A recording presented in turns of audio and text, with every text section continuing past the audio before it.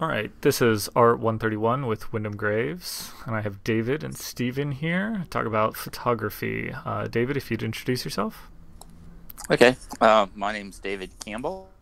I am the staff photographer at Alabama State University.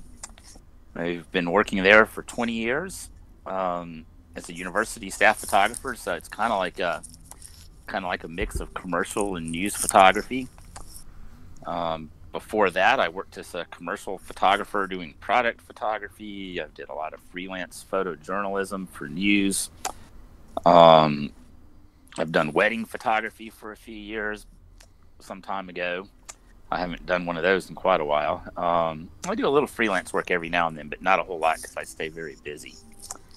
Mm-hmm. Um, I don't know. What else you want to know? That'll be fine for now. Stephen? Uh, my name is Stephen Tillman. I'm a uh, graphic designer and product photographer for a local manufacturer in Tallahassee. And I also do real estate photography on the side. Uh, I've been doing that job, uh, doing the product photography job for about the past four years, and real estate for a little bit longer than that. Um, and yeah, that's about it. All right, great. I uh, sorry, go. I'm sorry. I was yeah, the product photography job. That's uh, so you do like a lot. Of, you do like for is it like a wholesale company or what, what kind of product? Yeah, Stephen, you, you you can you can yeah. say who you work for. yeah, uh, I work for VZ Grips. Uh, we manufacture gun grips, so I get to take oh. a lot of. Um, mostly, cool. it's you know pictures of grips on guns. Uh, occasionally, try to do lifestyle type pictures. Um, people using it's kind of fun. Uh, it's cool. it's difficult to do the lifestyle stuff though because anyone using our product is covering it with their hands. yeah, that's a problem. well, well, you could always like show it in holsters and stuff. I guess you know. Yeah, yeah. yeah we we find yeah. creative workarounds. Yeah, yeah. I just got photography a, is really pretty. I just got a sound trigger, so I've been wanting to like try to get muzzle flash pictures. Ooh, I haven't. Uh, and I want to do the thing like the bullet going through the apple. Oh yeah, that's a rough thing to try to get. Yeah, those those are kind of those are that's definitely a very technical kind of thing. Yeah, well, that's what the sound trigger's for, though. It should work pretty good. I just haven't had time to mess with it. I live out in the country, so I can do this in the backyard. oh, but, that's uh, good. Yeah, I yeah, worked no, for, uh, I guess, about three years. I worked for a company called CCC Associates, and they, um, they had all these factories over in China, and they made like artificial Christmas trees and porcelain and pottery and mm. home decoration and all kinds of all kinds of stuff. And I was, so I had to shoot for catalogs and we would make these catalogs that went to wholesale companies, and they sold like millions of dollars worth of stuff. But but I was alone in a studio all day with these ladies would bring me giant carts full of stuff in the morning and then leave. That's a really bizarre. Doing like a lot of uh like just white box type photography. Um, yeah, there was. I had a I had a table where I would set products up on it, and I would get these little these little metal things that I would put the stock numbers from the products on to put in the shot because this is we didn't have Photoshop. Um, this was prior. This was uh, oh, this all, is analog analog days. Yes, everything was on film, and I had a I would I had a little mini lab where I processed and printed eight by tens, and then we'd stuff those eight by tens into notebooks to send out to all the sales people.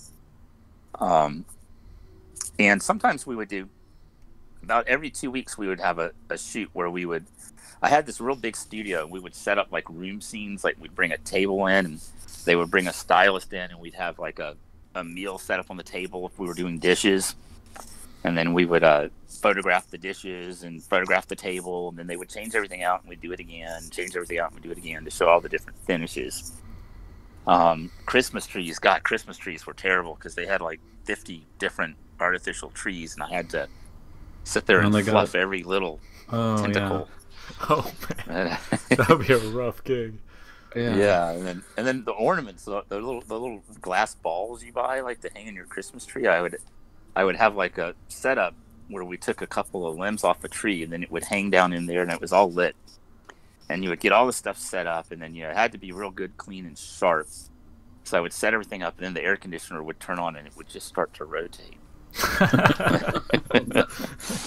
But uh, at the time, I was doing a lot of um, I was doing a lot of freelance work for news newspapers, and I was I was pulling just about as many hours with the local paper here then as I was at my job, and uh, I was just so much more in love with the idea of going around and taking pictures of people and covering stories and going to college football games and stuff like that. It was just more of a uh, Getting out and actually doing stuff rather than sitting yeah, in a studio all day. Yeah, no, I, I yeah, feel you. yeah, Yeah. yeah, definitely. yeah, Yeah, I would say It was probably yeah, yeah.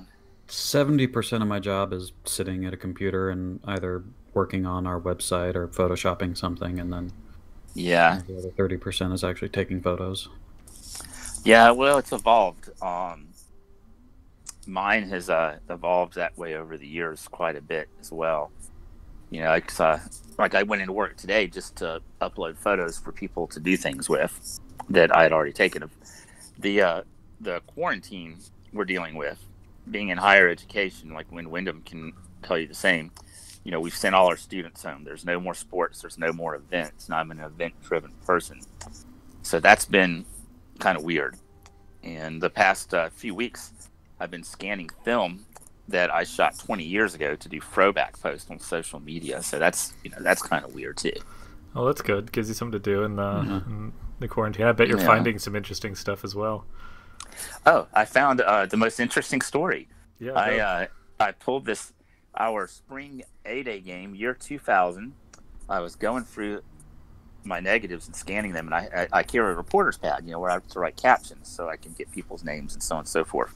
So I'm going through there, and I find the caption. I, I wrote down, uh, "Girl in uh, dress, five-year-old Sydney Foster," and I was like, "Wait a minute." So I found this picture, and apparently it was never used because it wasn't sharp. But Sydney Foster grew up um, joined the military and then went to college. And when she was in college, she was my student worker. Oh, and now crazy. she's a staff photographer for the governor of Alabama. And she's Huh. done all these all these internships with fashion studios up in New York. And she's she was um she was the one that did all the portraits for our new mayor here. I mean, she's really doing well with photography. Oh, And, I uh, think the I- fact that I Met her. yeah, I'm sure you've Yeah. met her. Yeah, I'm sure you have. Um, she, uh, it, it, it was just amazing to see that I had photographed her picking up an Easter egg when she was a little kid, That's hilarious. That's so and, and, I had no recollection of it. I just saw that in my notes. I was like, "Oh, it can't be," and I sent it to her, and she wrote me back, "Where the hell did you get that picture?" Serendipitous. That's awesome.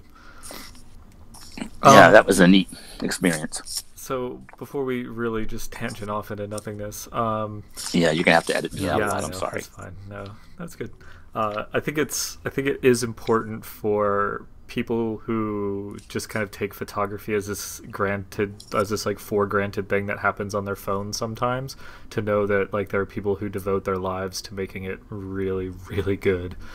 Um, but that's what I wanted to get you um, both of you on is why photography as a medium? Why did you guys pick that thing, or did it kind of pick you? Uh, Stephen, you want to go first?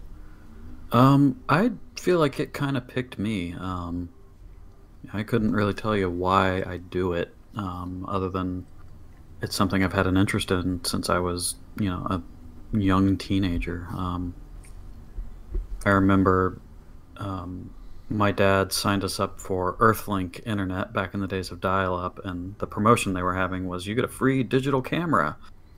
And this is back when digital cameras were kind of a new thing still, and it was the worst camera you could possibly imagine. Um, yeah, 640 by 480 images, and I think you got, you know, it would only take like 15 of them before the memory was full, hmm and you, you had to download them with a through a serial cable.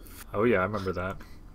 Yeah, Yeah, and and from there I was like, wow, I, this is fun. I want something better, and I convinced my parents to buy me a little Sony Cyber Shot, and had a lot of fun with that. And then when I finally got to uh, college, um, you know, I was taking I took uh, traditional analog photography and then digital photography, which is where you Windham convinced me to buy an SLR, Yeah, I remember that. and just kind of kept developing the hobby from there.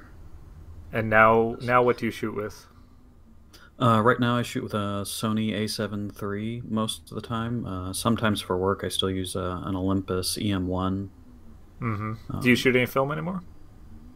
Um, rarely.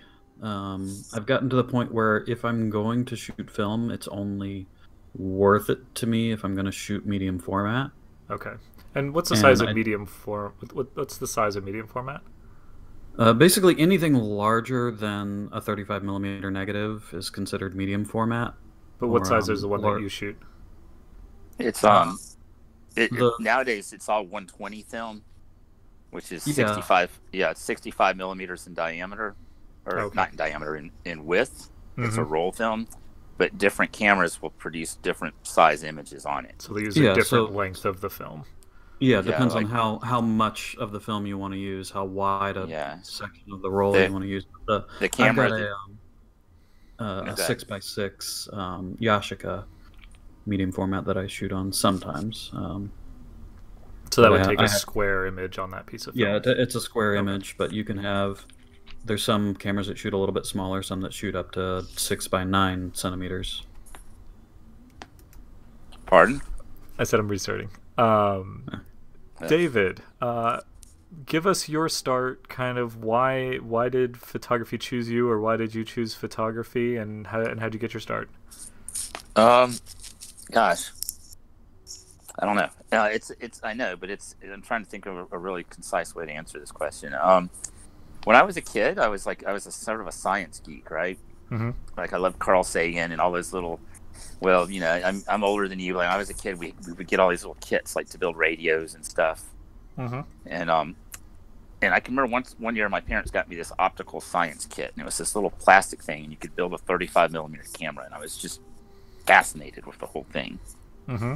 and then as I got a little older I was racing BMX bikes and riding skateboards and stuff like that and these these magazines always had these action shots in them so yeah that was kind of like the thing I really got into was taking pictures of my friends doing all this stuff and then I got to college, and um, I really, when I first got to college, I wanted to be, I, I was real interested in physics and astronomy. Like I was a big Carl Sagan fan when I was a kid and all that. And uh, math turned out to be really hard. I just hated math. And then my, my first class was photography. And, um, you know, we had to have the, we got a thing from the teacher. We had to have all these supplies on day one. And our first day, he sat down. He says, "You know, you, you get a notepad book, you put a roll of film in your camera, and you go out and you you do you take all these pictures to learn about depth of field and all this different stuff." And day two, we went down to the dark room and developed film. And day three, we made contact sheets, and and from there on, uh, I just was amazed with the whole thing.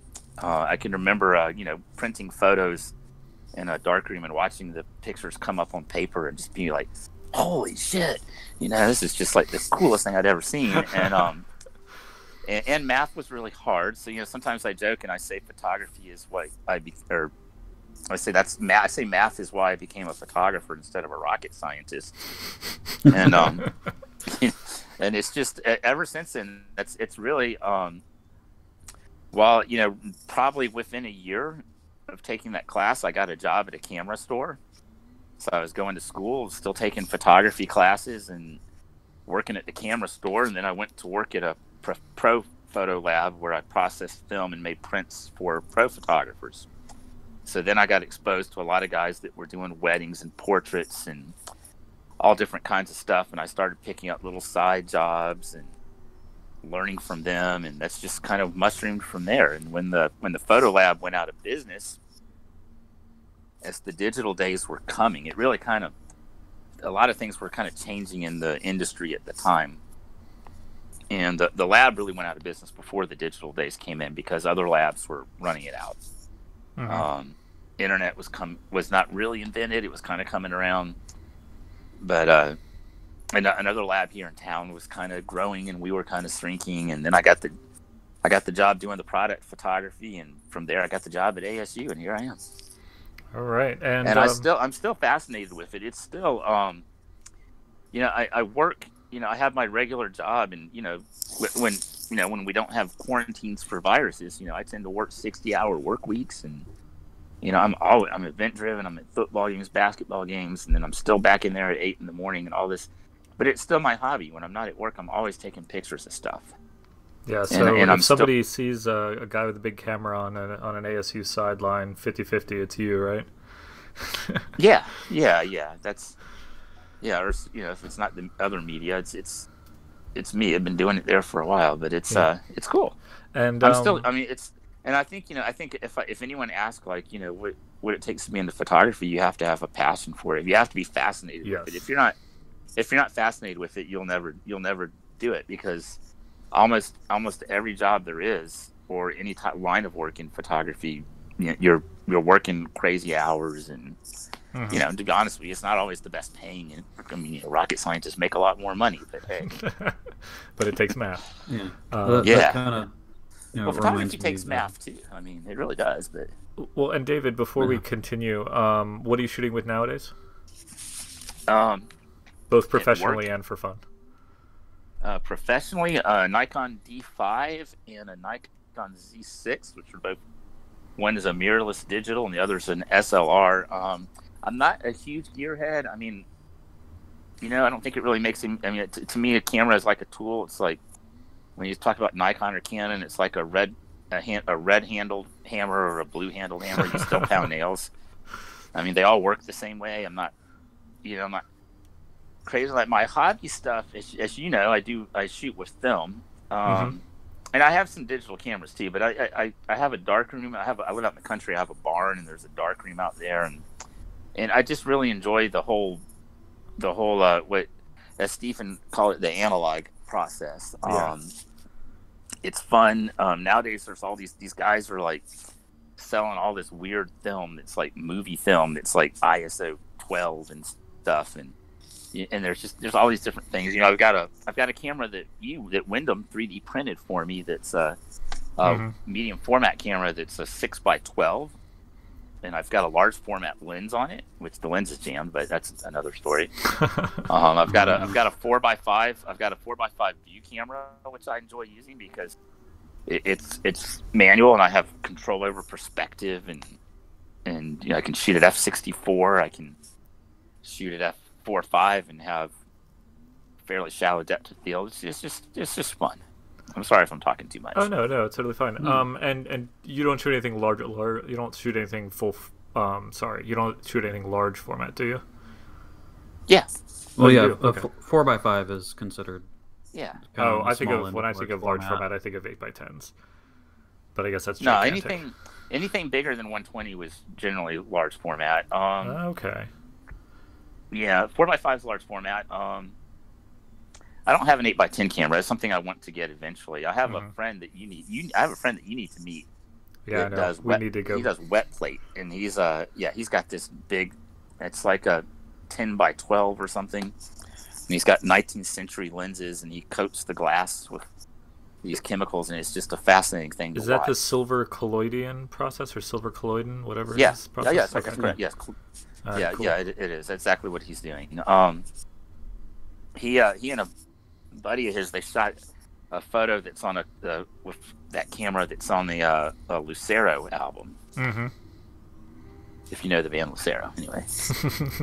But uh, pretty pretty neat stuff. But any, anyway, I'm sorry, I'm, I'm just babbling on. oh no, go for it. No, that- Uh, You're gonna have to edit me. This is the Um, neat stuff. I Uh, haven't yeah. said fuck yet though. except for right there. um, Oops. Go ahead and make a So- timestamp so you can edit. so when we're, I don't bother. Uh, it doesn't matter. Um, so when you guys are, so I think this is a big thing is that both of you and I have a huge amount of equip of, of, equip, of equipment, whether it be different camera bodies, different camera lenses, different types of film, different accessories, all this other junk that we have in our lives. Um, when you go out to shoot, how do you pick what you're going to take that day? Um, and if you want to use a few different examples, like two or three different examples of stuff you shoot and like your kit for that day, uh, that's fine. Um, Stephen, would you like to go first? Yeah, I mean, it, it, it totally depends on what I plan to shoot. Uh, if I'm going to do a real estate job, I have essentially one lens that I use. And what is that? It's a 16 to 35 millimeter. And what Uh, would that look like for most people? Um, on a full frame camera, that's pretty wide. Uh, it's not as wide as you can get, but close to it. and that's just to help make smaller spaces look larger when I'm shooting real estate. And being able to zoom in from 16 to 35, I can also get little bit tighter exterior shots where I can back up away from a home Mhm. and not make it look like a fun house. That helps. That always helps. Um, Uh, and But give if- us what what about it when you go do astrophotography? Because you do some of that nighttime stuff. Um, for astrophotography, uh, again, it's just one lens, um, and it's basically the same kind of lens. It's a, um, a 14 millimeter prime lens, uh, meaning it doesn't zoom, uh, and it's an f2.8, so it's fairly bright.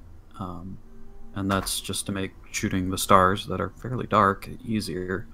hmm Um, but now, if I'm going to shoot wildlife, uh, I've got a 150 to 600 millimeter lens. hmm You know, so I can get small things that are far away and you know fill the frame with them, or stay as far away as I need to from alligators. Yes, that's definitely Um, important. Now, I always struggle if I'm going into a situation where I'm not sure what I'm going to be shooting. I tend to overload and just bring every lens I think I might want, and you know, I end up with you know a whole suitcase full of equipment that I you know don't use most of. Yeah. And David, I want to shoot alligators. David, how about you? Co- Come, come down here to Florida. We got plenty of them. oh yeah. Yeah, yeah. I've uh, I've uh, I've gone. There's a place I've been like I've been there three times now. It's uh, in in north. It's north of you, northeast of you, and it's called a cheesy pond, and it's a it's a paddle trail, and they have all these big bald cypress trees, and there's there's marks on the trees to guide you through it. And I've paddled up on them, and you know, like it, the moment I've been able to actually get a sight of them, they completely freak out and splash water all over the place and, and submerge, and then that's you Yeah. don't see them again. Yeah, alligators yeah. are very skittish. They're you can't get too close to them. They'll just they'll run away. Yeah, Um, they're not into it. They're not interested And in I- a fight. I actually, I rec- or maybe a few years ago, I bought a kayak, thinking, okay, I'm going to use this to get to places I wouldn't normally be able to get to and take photos I wouldn't otherwise be able to get. And I've yet to work up the courage to actually put expensive equipment on the kayak and trust that I'm not going to Oh, drown it and drown it and lose it in a river Oh, well, somewhere. dry bag it. You gotta you gotta have a dry bag or a. you- Yeah. If you don't if you don't have a Pelican case, um, if you guys have Harbor Freight tools down there, yeah, they do. they have these we do. these they have these knockoffs of Pelican cases that are like really nice, and they're like, uh, I mean, it's a decent one to carry a small camera kit. It's like thirty five bucks. Yeah, I've actually I've got one, uh, one or two of them. Uh, actually, I use one of them to carry my drone in. Um, not necessarily because I need to. The the drone bag that came with it was fine, but just to look more professional when I'm on a job site. That's interesting. Yeah. Um, and David, when you're going out to shoot stuff, um, give me a few examples of what you would take, like one, maybe one professional and one or two of your personal fun time shoots. Jeez. Um.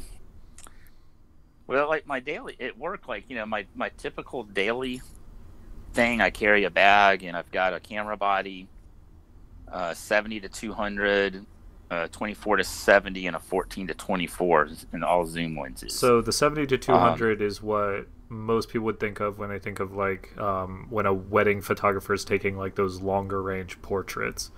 It's oftentimes Yeah. on that 70 to 200. Okay. yeah, that's pri- that's one of the more common lenses used. And um, what were the other two? uh, uh, twenty-four to seventy. Okay. and a 14 to 24, which is a, a real wide lens. Um, Okay. I don't So- always carry the 14 to 24. It's kind of big and it's heavy. Um, I've got a, a cheaper. I've got a, a six. It's like a 16 to. Maybe it's a s- it's a- I don't know what is it like a 16 to 35 maybe, Those Something are pretty like that. Yeah. but it's an f4, hmm um, which is fine with the newer cam. Since the newer cameras have come out, the f4 is fine. The the others are all f2.8s. Um, that's my like typical and you know and i'll always carry a flash even though i, I don't always use it i very rarely use it um, but i pretty much always keep one in the bag in case i do need it um, then let's see. That's like a, just a typical daily setup. Mm-hmm. Um, you know, I do a lot of sports, so I've got a 400 millimeter lens I'll carry if I'm doing stuff like that. Except Uh-huh. for basketball, I use the 70 to 200 for that. Um, and then personal stuff, you know, that just that just just depends on what I'm doing. That's I've got a whole bunch of cameras. You know, my wife was cleaning up in the house, and she said, "You got more crap than I've ever seen." yesterday. I guess I do. I've got stuff everywhere. I guess. Um, I've got a. Uh, it, it just sort of you know it depends on my mood. It's for for my fun for my personal stuff. It's my hobby. So it's like you know sometimes uh, I've got a Leica 35 millimeter camera, and I've got Mm-hmm. I've got three lenses for that that I use. Um, I enjoy working with it a lot because it's small and light. It's a cool little camera, and the lenses are very sharp. I've got a um, I have a Russian-made swing lens camera, which if you're familiar with the Japanese camera, the Widelux, it's a camera Mhm. where the lens swings from one side to the other. Yeah, to do a got film. panoramic exposure, right? Yeah, it's a panoramic camera that films and the sits on a curved plane. Yeah. and Mhm. um, so it's a 28 millimeter lens, so you don't have a lot of circular distortion, but it sees uh, 175, I guess, degrees from side to side. So it's like the it's- iPhone uh, panorama mode where you swing the phone around, except you're actually swinging the lens around onto a flat piece of film or on a curved Correct. piece of film. Yeah, Correct. that, that's a really cool Um, camera. yeah. Uh, here, like the past few years, the actor Jeff Bridges has kind of made that thing popular. Um, he's put out some books. He's been working with him for years. He's got Oh, really? That's books where, uh, yeah, a lot of even like uh, a lot of the movies he's been in, he carries the camera on the set. Huh. So um, he's okay, got that's um. he's got pictures like in the Big Lebowski. He's got pictures where they were filming on set, and then when after they would they would cut He'd the, get a shot or take, two. that he, he would pull it out and he would shoot pictures of the set. So he has like the lights and the cameramen and the other actors and actresses. Oh, that's awesome. Um, he was on uh he was on Jimmy Kimmel there not too long ago, a month or so ago, and it, it kind of went around Facebook. I think I shared it on Facebook where he was talking about his work with it, and I think the price on those things went up on eBay like two or three years ago when his book started coming out. But Yeah. uh, but I've got um mine is Yeah, a I- Soviet. I remember looking Russian at one. You're talking about the Hasselblad, the X-Pan. No, that's a flat plane camera. Um, Okay. That's a panoramic camera, but the uh, the the X-Pan has a it's a very has a it has a wide lens, but it, it creates the, it creates the same size negative, but the film is on a flat plane, so it's like a really wide angle camera.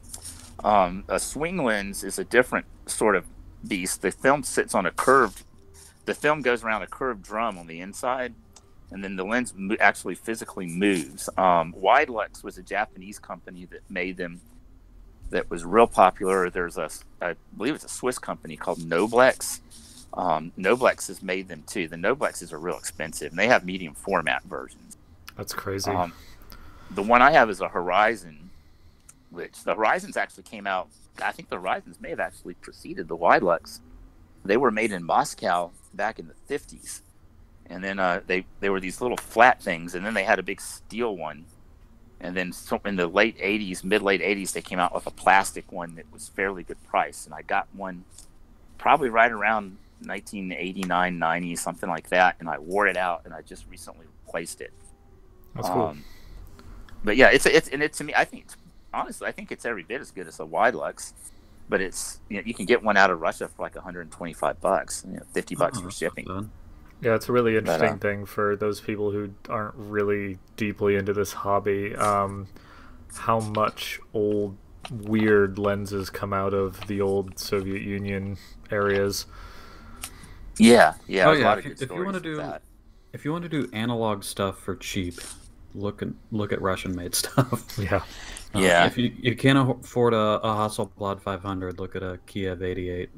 Yep. Yeah, I I had a Kiev 88 um a long time ago. I kept it for about two or three months and sold it because to, to be honest with you, I think the it was It's just the lenses were terrible.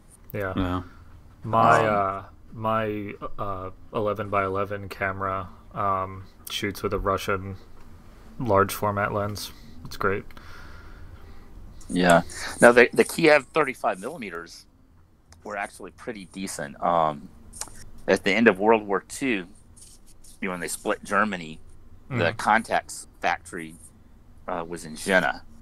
So Mhm. that wound up on the east side, and the Soviets they, they pretty much loaded up the factory, along with some of the optical scientists and workers, and moved it to Kiev, Yeah. and started a new factory where they continued to make the exact same camera. Um, now they made they made copies of Leica cameras in Moscow, but those were actually copies. The ones that they made in Kiev were at, were really kind of the, still the same design. Yeah. Yeah, they were the same pieces of equipment Yeah. and same grinders and everything. and, and Nikon got their start out by copying that same Contax camera too. The first Nikons were copies. Mm-hmm. Yeah, first every Canons were copies while, of the Leica. every once in a while you can find a Nikon lens on eBay that's a Contax mount. Yeah, they're a little different. The the the, the, the flange distance is a little different on the, the Nikon and the Contax, but the Yeah. Contax and the Kiev are the same. Yeah. Yeah. Um, Enough so- old history. Nobody's interested in that. No, we all love old history. Except That's, for us. That's the fun part. Yeah, exactly. um, now, uh, you both shoot a little bit of film, which I don't. Um, what keeps you going back to film? David, why don't you kick us off? Hmm. Well, for many years, you know, I was single and I had a dark room in my apartment, and I always just enjoyed it. So is it just that Zen thing? That's a that's a, I don't know I don't even know where to start. Um, I'm not really sure. Um, because I remember when digital cameras first came out, I was real fascinated with that, and I still am. I mean, it's you know, you know, like uh, we had an event at, at ASU this past year where you know these students that was like the freshman talent show or something, and I I took a picture of these girls up in the stands that were holding their phones in their hands, and they're, they're lit with the light from the phone, and I'm like, you know, 60 yards away. And, and I'm shooting this thing at like 80,000 ISO or something, Yeah. a decent image, and that's like a mind-boggling thing to anyone who's been around for a while. But um, I don't know. You know, I uh, I've always had all my old cameras, and a few years ago, I guess one story I tell. A few years ago, I got my camera out, and uh, I had this big Great Dane, and Mhm. um, he was a big, a big male Great Dane. It's like the biggest dog I've still ever seen. This is the one And, that's um, like bigger than the donkey you guys have, right? He was taller than our donkey. Yeah, we have a miniature donkey, and Edgar was taller than him. So I, I, I took him outside. He was a really cool dog. He's a real friendly, fun dog. And I took him outside and I made him sit down. My wife will never will never pose for pictures. When every time I get like a new piece of equipment or something, I have to test it out. So Edgar was always my model. Uh, my dog that I have now, she's actually sitting here looking at me. Um, she she doesn't sit still Mm. but Edgar would sit still and Edgar would make faces. So I took him outside and I, I, I set him down and I took his picture. I took like two or three pictures and then I lowered the camera down in front of myself and my left thumb came up into the air and went bump, bump, bump, like I was trying to push a play button. And I said, What the fuck am I doing? I said, Holy shit. And, uh, and I started thinking about that. And, um, and how, how I evolved to the point where, you know, you're just always chimping yeah. with the digital cameras. And um, Explain what chimping is. chi- oh, okay, yeah, yeah, that's a funny thing. Yeah, nobody knows that. Okay, um, when you, when you look at the pictures on the back of your camera after you shoot them to see whether or not you got the shot, that's called chimping. Yeah, but why is was- it called chimping? That was started. It was started. Okay, when digital cameras first came out. I mean, when they this is like year two thousand. there was a website, and if you remember before social media, we had forums, um, web forum sites hmm and there was one called sportshooter.com and it's i think it's still around i, I used to have a page on there i haven't gosh i might still i haven't looked at it in years. But um these guys made this video. And the thing is because nobody this is like you- you're dealing with people that have shot film all their lives and these digital cameras come out. And you know when, when you shoot sports especially because there's always fast action and all this stuff going on and you'd shoot film and you, you wouldn't know whether or not you, a big play would go down. You might think you have the shot but you don't know. Mm. and it is sports photography is not a guaranteed thing. It's it's very one of the reasons i enjoy you know i hate i, I never sit and watch sports I, I, I don't enjoy that at all i'm not like a sports fan guy hmm um you know i don't have any like Go Team shirts or you know, I, you know, I don't even sit and watch. You know, if the Super Bowl's on, I care more about the commercials. You know, Yeah. it, it, stuff like that. But uh, but I love being on the sidelines shooting. It's like one of my favorite things to do. But uh, you know, because there's there's just so much so much going on. You have to pay attention. You you have to. Uh, but but anyway, so these guys made this video because when it when this first happened, like when people realized they could push this little button and see, like right after, and all of a sudden, you, if you get a good shot, people would look at it and they go ooh ooh ooh ooh ooh, and uh, and they made this video of people going ooh ooh ooh ooh, and and and then and then it was kind of like um it was kind of like a play on something else where they'd say and say it's okay everybody does it and they'd go around and they'd see see he does it too Yeah. and they'd like show him looking at the camera and um so they made that little video and that kind of that kind of coined the term chimping and um that's that's actually where it came from Yep. That's awesome. Yeah, see, Yeah. I, Another- I had heard the term chimping before, but I didn't. I did not understand its origin until just now. Really? i bet if you you know what i bet, I bet if I, I- we were in a class. We were told that story. You were not paying attention that day. I must not have been. Yeah. well both of you guys if you guys are if you guys are the same age you're you're a lot younger than me so you probably. When did you when were you guys in college we would have been doing photography stuff maybe 2005, 2006. I- okay yeah I- so see yeah okay so yeah you guys were in college like Yeah. after that really went down so gosh, Yeah, so it was already old. an ingrained term by that point. yeah yeah yeah and All yeah, right, yeah i wonder if uh David, why do you like shooting film? Why do i like shooting films? well gosh well i got off you know what i got we whoa, we really went off on a tangent there didn't we Um.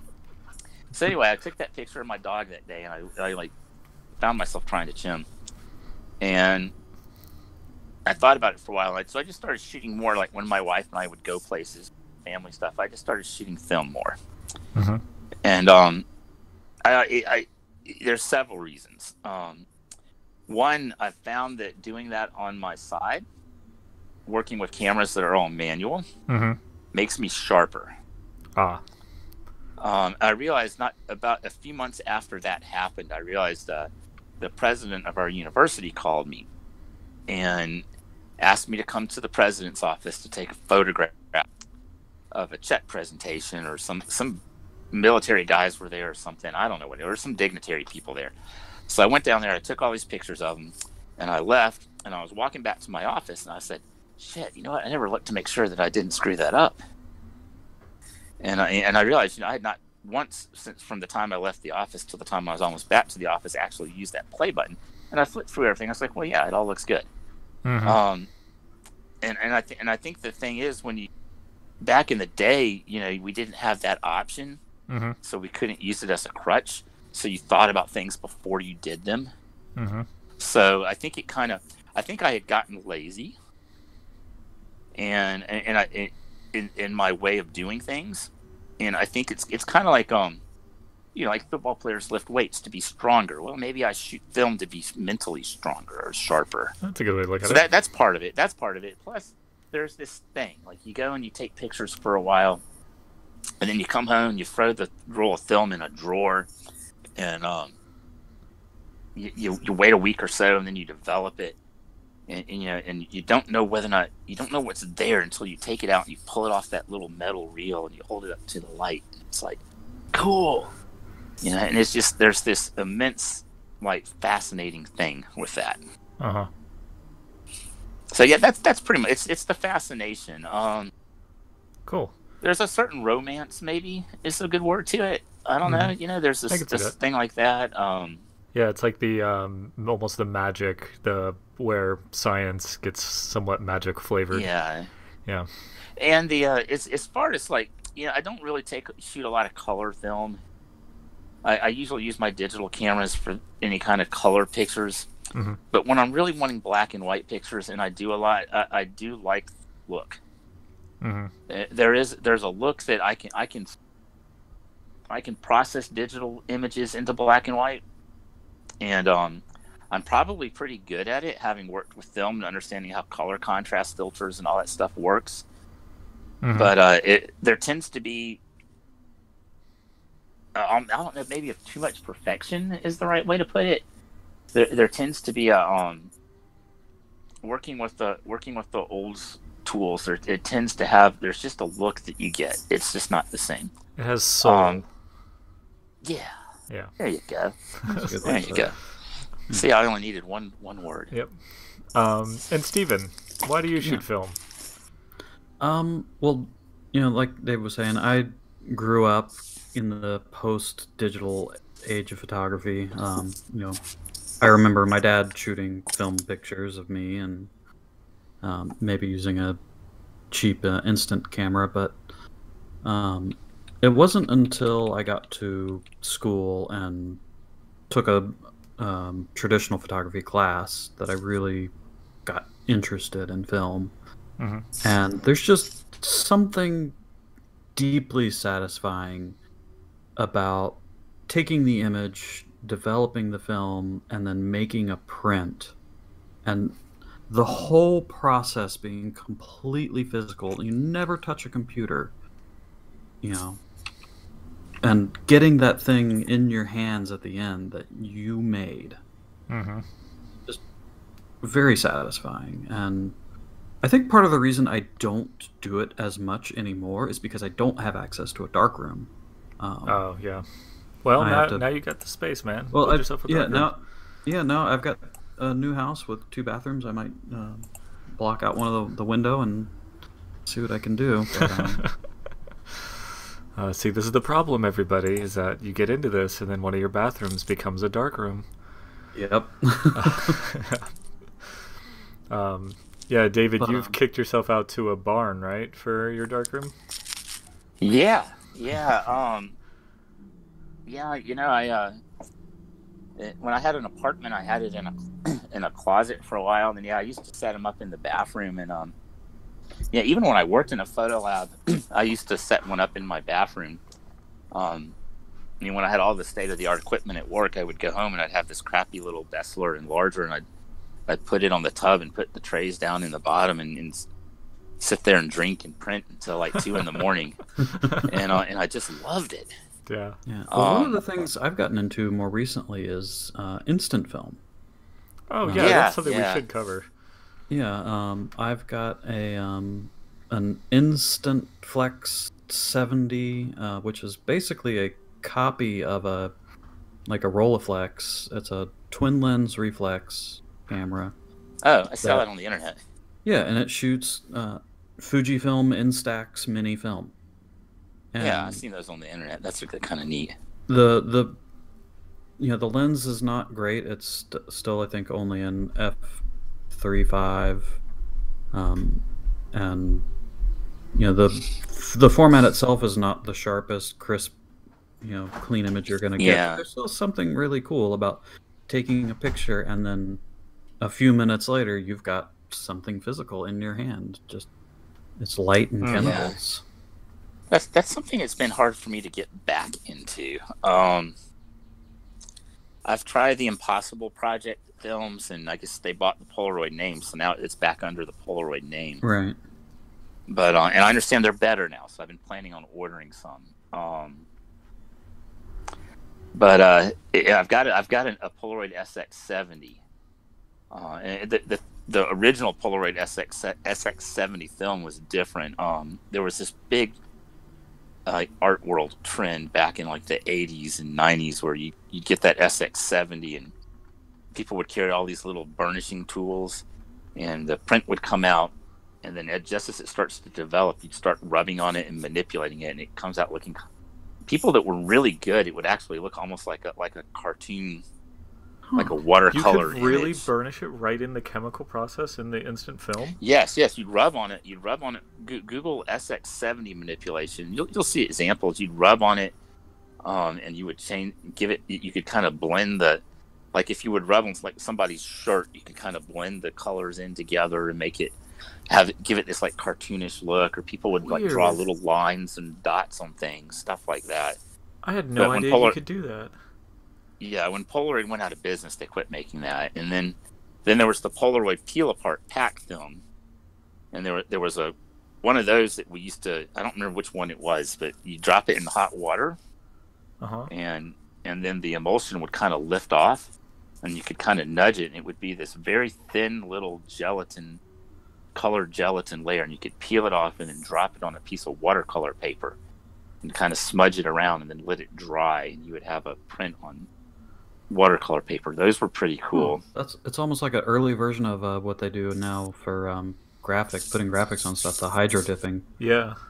Yeah, I don't, I don't know what that is. That one. Well, Oh. hydro Yeah, ba- dipping is more graphic. Yeah, it's basically Oh, they have like a printed film that they put on a top of a bucket of water, and then you whatever you want to put that graphic on, you dip into the water, and it Oh, applies it. I've seen, I've seen that. I've seen like YouTube videos of Yeah, that. If it's what yeah. I'm thinking of. Yeah, that's It's, it's good neat. for when you want to put a graphic on a very complex shape, like a motorcycle helmet or a guitar or a gun. Yeah, have you done that? I have not. I've, I've seen it done, but I have not done it myself. You know, I've only seen it on on the internet. I haven't seen it in the world. I didn't know it was like. I thought it was just like a, a really rare thing. But uh, No, I don't know. it's- Pol- That's pretty cool.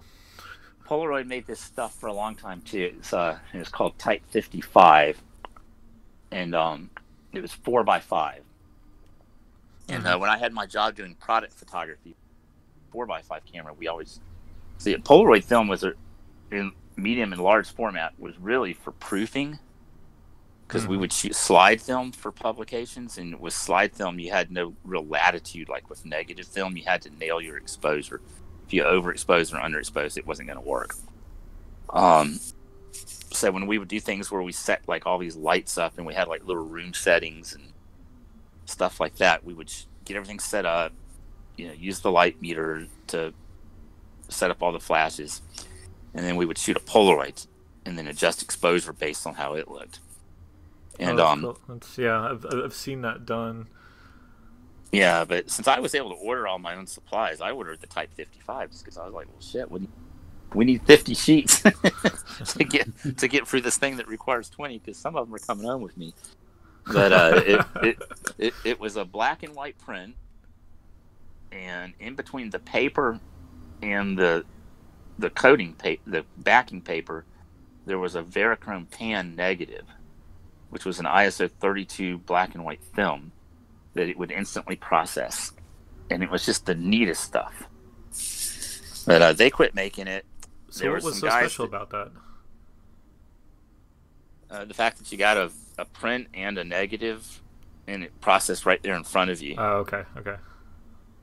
Okay, I mean, I was thinking this Yeah, is I- like it, to get a negative. This and it was just there was something. It would have this um where it was attached at the end. There was like these little little marks Mhm. where it was clamped in, and then at the at the other end you would have like a little streak where the chemicals kind of streaked across it. And it was just this is before we had Photoshop to create Yeah, different looks sure. and things. So it was, uh, you know, it was, it was a lot. Nowadays, it, it's probably most younger people would look at it nowadays and probably go, "Yeah, what's so special about that? I could do a lot better job in like five minutes." You know? yeah, but it's not as no. fun. Instagram was- has a filter for that. yeah, it's not, it's not as, it's not as fun, but it, it's not as fun. And back then, you were the only person doing it. It wasn't True. like you know, except for like one other cool guy you might meet somewhere would be doing it, you know. but but it wasn't like a lot of people were doing it. So I don't know. And these guys, these guys tried uh, to bring it back. They uh, they had a Kickstarter about five or six years ago. It was called New Fifty Five, hmm and um, yeah, I never backed it. They, they they did it. They were they were one of the few Kickstarters that's been successful, and they produced it. I think they've quit producing it, but it was uh, I was like a hundred dollars for ten sheets of it or something. Oh, so jeez, that's painful. yeah, yeah, yeah. So you know, that's that's why it didn't work. I mean, even the Instax stuff is like a buck a sheet, right, Stephen? You shoot that. Um, I, it depends on how you buy it, but it's usually between fifty cents and a dollar. Yeah. Jeez, yeah, Yeah. that's painful. Yeah, well, Polaroid always. 128 Polaroid gig always SD was cards are like 20 bucks. Yeah, and Yeah. that's another thing with you know shooting film. It forces you to slow down and think about Yes. what you're the image you're going to take. You know, if, if I'm out shooting digital, you know, shoot 100, 200, 300 pictures. Doesn't matter. Yeah, you're gonna have to sort through them later, but you know, go ahead and take them while you while you can, and figure it out later. With Yeah. film, you got to think. Okay, you know, I've only got so many shots on this roll. Is the is this shot worth it? Do I have everything correct? Mm-hmm. Yeah, and is this something I actually Yeah. want a photograph of? Is this worth fifty Yeah. cents or a dollar? Yeah, and that, that's just you know the cost of film. If you're talking about something that is an instant, you still gotta Process and it. Yeah. like me, in darkroom, you gotta Yeah. send it off to the lab and pay to have it processed and scanned. And it it really changed expectations on things like that too when digital photography came out um i know going back for a lot of since we've been on this quarantine i've been going through old film negatives and stuff you know I, you know like with a lot of assignments at work you know i might shoot four or five rolls of film and i'm looking to turn in because we're doing printed publications versus internet is part of it but uh, you know i'm looking you know five six really good photos was my end goal Mm-hmm. um, nowadays you know i go to a football game and you know within 30 45 minutes of the game coming to an end i've probably got 80 photos online with people looking at them and sharing them around and stuff already Yeah. so it's it's it's a lot you know it's it's you're expected to turn out a lot more Yes, definitely. and that that changed almost that changed like I, I remember the, like the first digital camera I got at work. I mean it it that expectation changed the afternoon that I got it out of the box, and it was very very quick. It's Um, interesting. And it's evolved since then, where it's it's it's it's more and more and more. Now now they're now I've got like a little thing on the side of the camera that's a little transmitter, and I I carry a Verizon MiFi so that when I get a decent shot, I can edit it in the camera and then upload a JPEG to an FTP site while I'm standing there in the middle of a graduation or an event, and some other guy can pull it off and put it on Twitter. That's and I, I just can I go back to work, and uh, you know that's yeah it's it's changed things a lot. I don't know where it's all going still. Yeah. Um, and let's let's actually just kind of keep, keep on that. Um, let's keep on that vein and talk a little bit about social media and photography. Um, I was going to ask whether you thought that digital cameras allowed social media to exist, or whether social media kicked off digital cameras. But honestly, they kind of just rolled up together at the same time. How Well, has I- it? Mm, I might digital I think cameras came digital- long way before. Yeah, no, I think without digital cameras, you would not have social media. To, Okay. And you know, something like Instagram could not exist.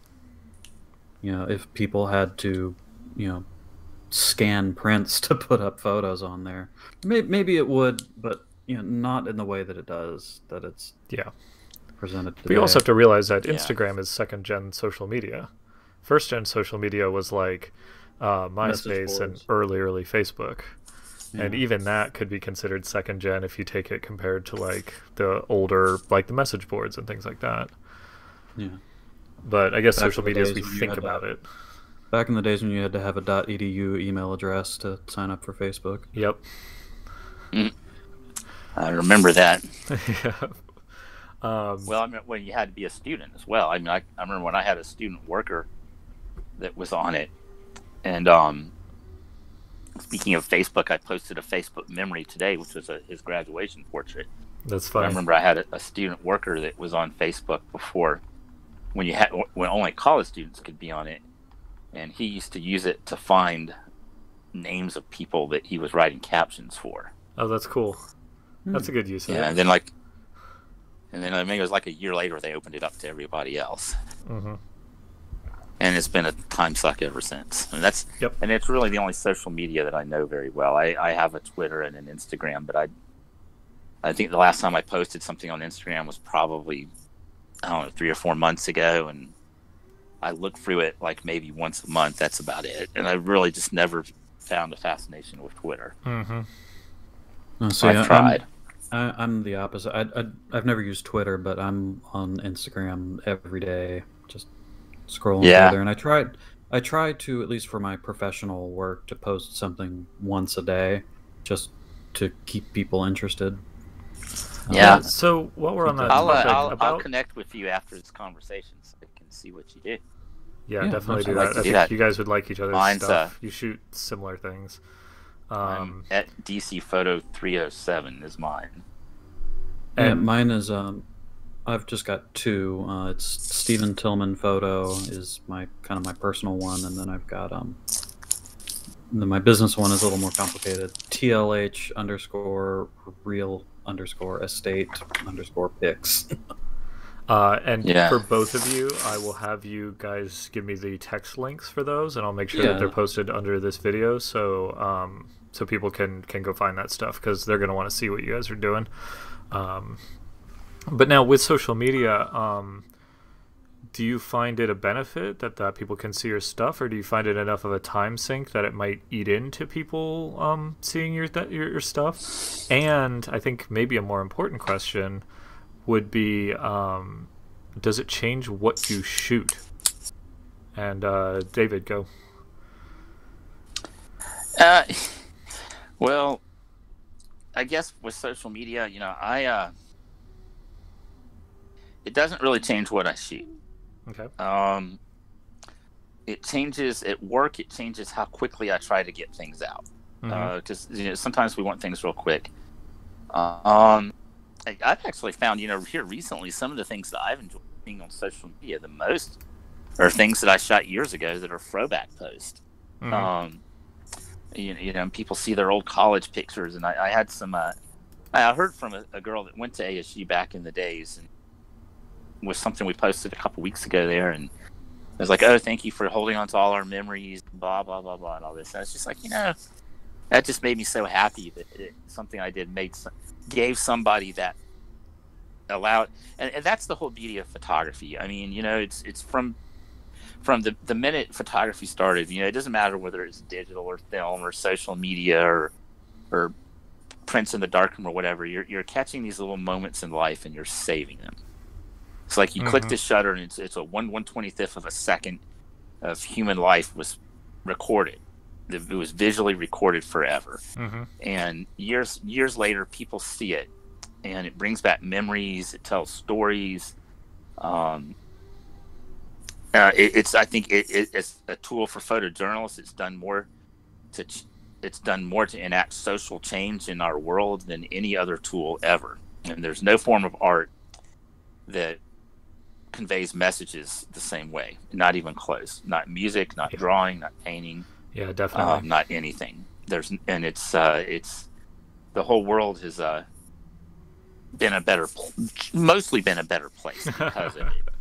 yeah. Um, you know, and, and all, all the way back to from the time Mathew Brady was shooting slave portraits hmm uh, up until uh, you know, you know, through, throughout the Industrial Revolution to the de- the Great Depression and and on. It, it's been the one thing that's that's put people in touch with life, and uh, so I, I guess uh, I probably Stephen should probably talk more about social media because you know I'm older. um, Well, yeah, but, but you've seen it come you, got, into you being. guys are talking about we like grew up in it. Thurston's second gen social media, and I'm like, well, I have a Facebook page.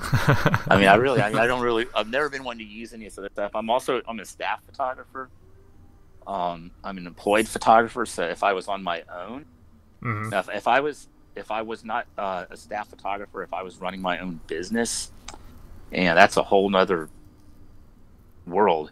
Yeah. Um, I would be constantly. I, nowadays, you have to constantly get on social media and use it to promote yourself. And I watch other people. I watch especially younger people that are doing it, and um, it, it, it's interesting to me. It's uh, I'm glad it's not the world I'm in, yeah. but um, but yeah, you, you have to you have to master it. And I guess I guess if I was doing if I was a freelancer, I would probably uh, I would probably put much more into that. Um, I'm trying to learn more about it now, just because you know it's what we have. I work at a university, and it's what we have to do to engage young people, and as, as Mhm. well as young alum.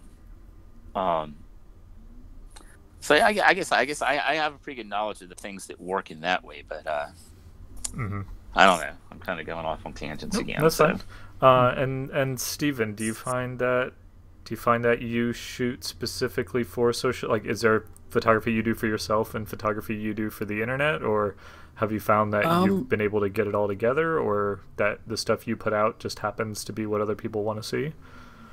Yeah, I don't think I shoot anything specifically for social media. I'm never taking a photo thinking, "Oh gosh, this is going to get a bunch of likes on Instagram."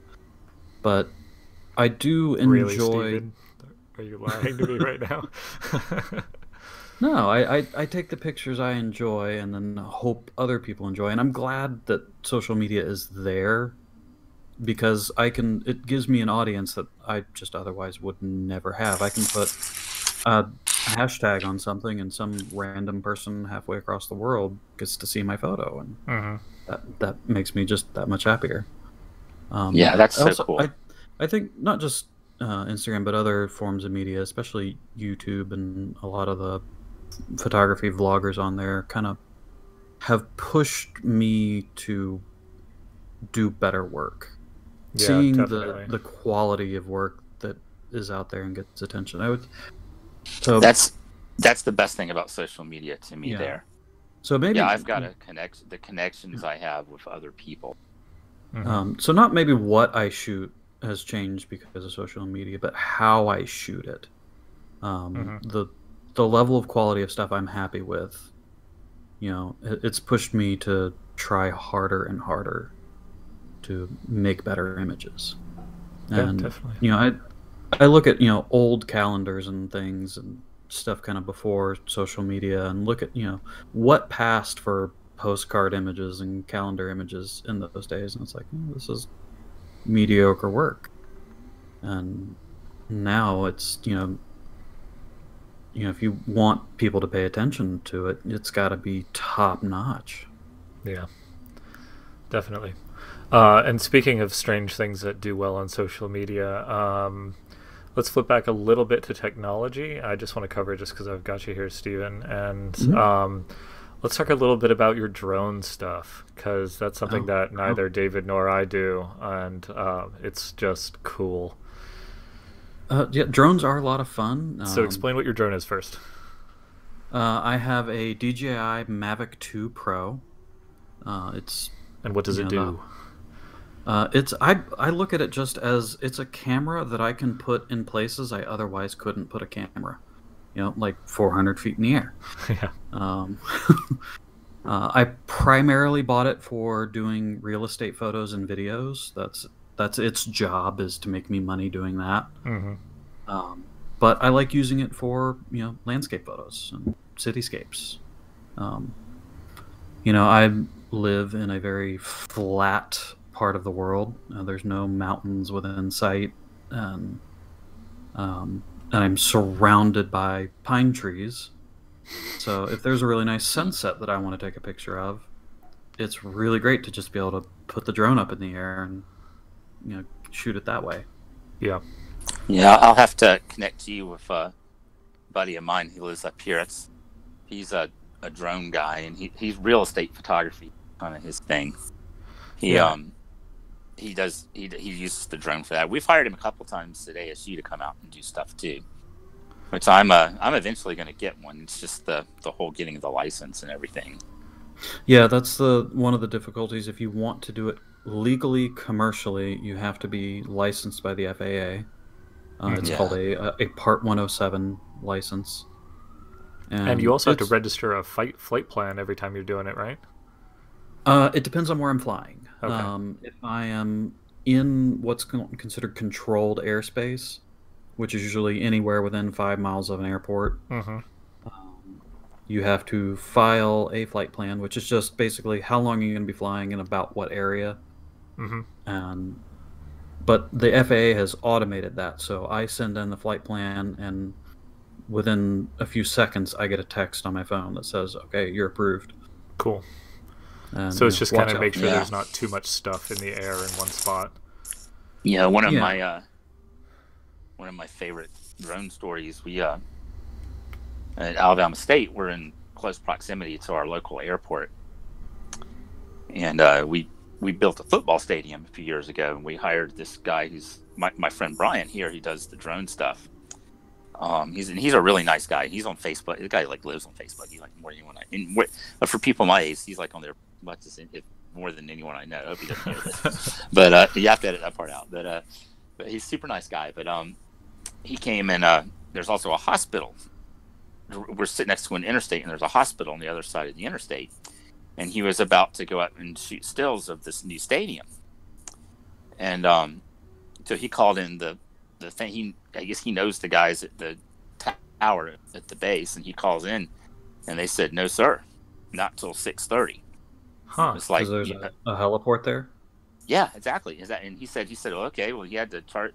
He had a battery to charge anyway, so he plugged his battery in. He said he was just sitting there in the back of his truck, um, because he just he parks his pickup truck next to the thing and just flies the thing right out, out the back there. And uh, so he said he just sat there and was playing around. And he said like just a couple minutes later, uh, the life flight helicopter came in and it came directly over this like 15 feet over the top of the stadium and down to the hospital. So he would have been right directly in its flight path. Yep. Yeah, you got to be real At careful with um, you know, usually unless you are very close to an airport, you're not going to have to worry about planes. But um, helicopters tend to fly. I've noticed I see helicopters flying lower than they should. A lot of times. Yeah. Um, so you got to be careful. And uh, my drone actually has a feature where if you hold the control sticks in just the right way, it will cut power to the motors and it will fall out of the sky in an emergency situation. Yeah, Thankfully, I have Wow. never had to use that. because it also But hits the ground at you know full speed. Yeah. Well, I've I saw one person testing it out. They put the drone up to 400 feet, which is as high as you can legally fly in the U.S. hmm And they cut power and then tried to turn it back on, and they actually got the drone to turn back on, power up, and hover before it hit the ground. Well, that's good. Yeah. Yeah, and your So- drone is one of the ones that does all like the it, it can station hold and all that stuff, right? Oh yeah, it's got it basically flies itself. Yeah, you just give it Um, points to go to, and it goes to those places. Yeah, I mean it, you can manually control it, but if I let go of the sticks, it's just gonna stay wherever I put it. Yeah, You, you have the one with the Hasselblad lens on it. Yeah, the, the quote unquote Hasselblad. I'd say, you know, I finally bought a Hasselblad and, you know, and it Yeah. flies. and you shove it into Oh. the sky every day. Yeah, I think it's basically it's a Sony one inch sensor, and Hasselblad Yeah. put some of their color science into the processing, and that's about it. But I shoot raw anyway, so the color processing. Oh, is it is, is it a Zeiss lens on it? Um, I don't think so. Um, I think Oh, it's- thought they had a it says Zeiss it says Hasselblad on the front of it. Yeah, I think it is a straight Hasselblad lens on a Sony sensor. I do not think Zeiss is involved in it, but if I could get that lens and sensor combo on a point and shoot, I would Was it definitely Zeiss, have one. Zeiss, Zeiss? Zeiss makes all the glass in Hasselblad lenses. Oh, then they may have had something to do with it. Yeah. Yeah, Well, now I'm kind of curious. it's a Swiss camera company with, Stephen, with don't German leave. glass. You can look at it later. I'm not leaving. The drone is right behind me. okay.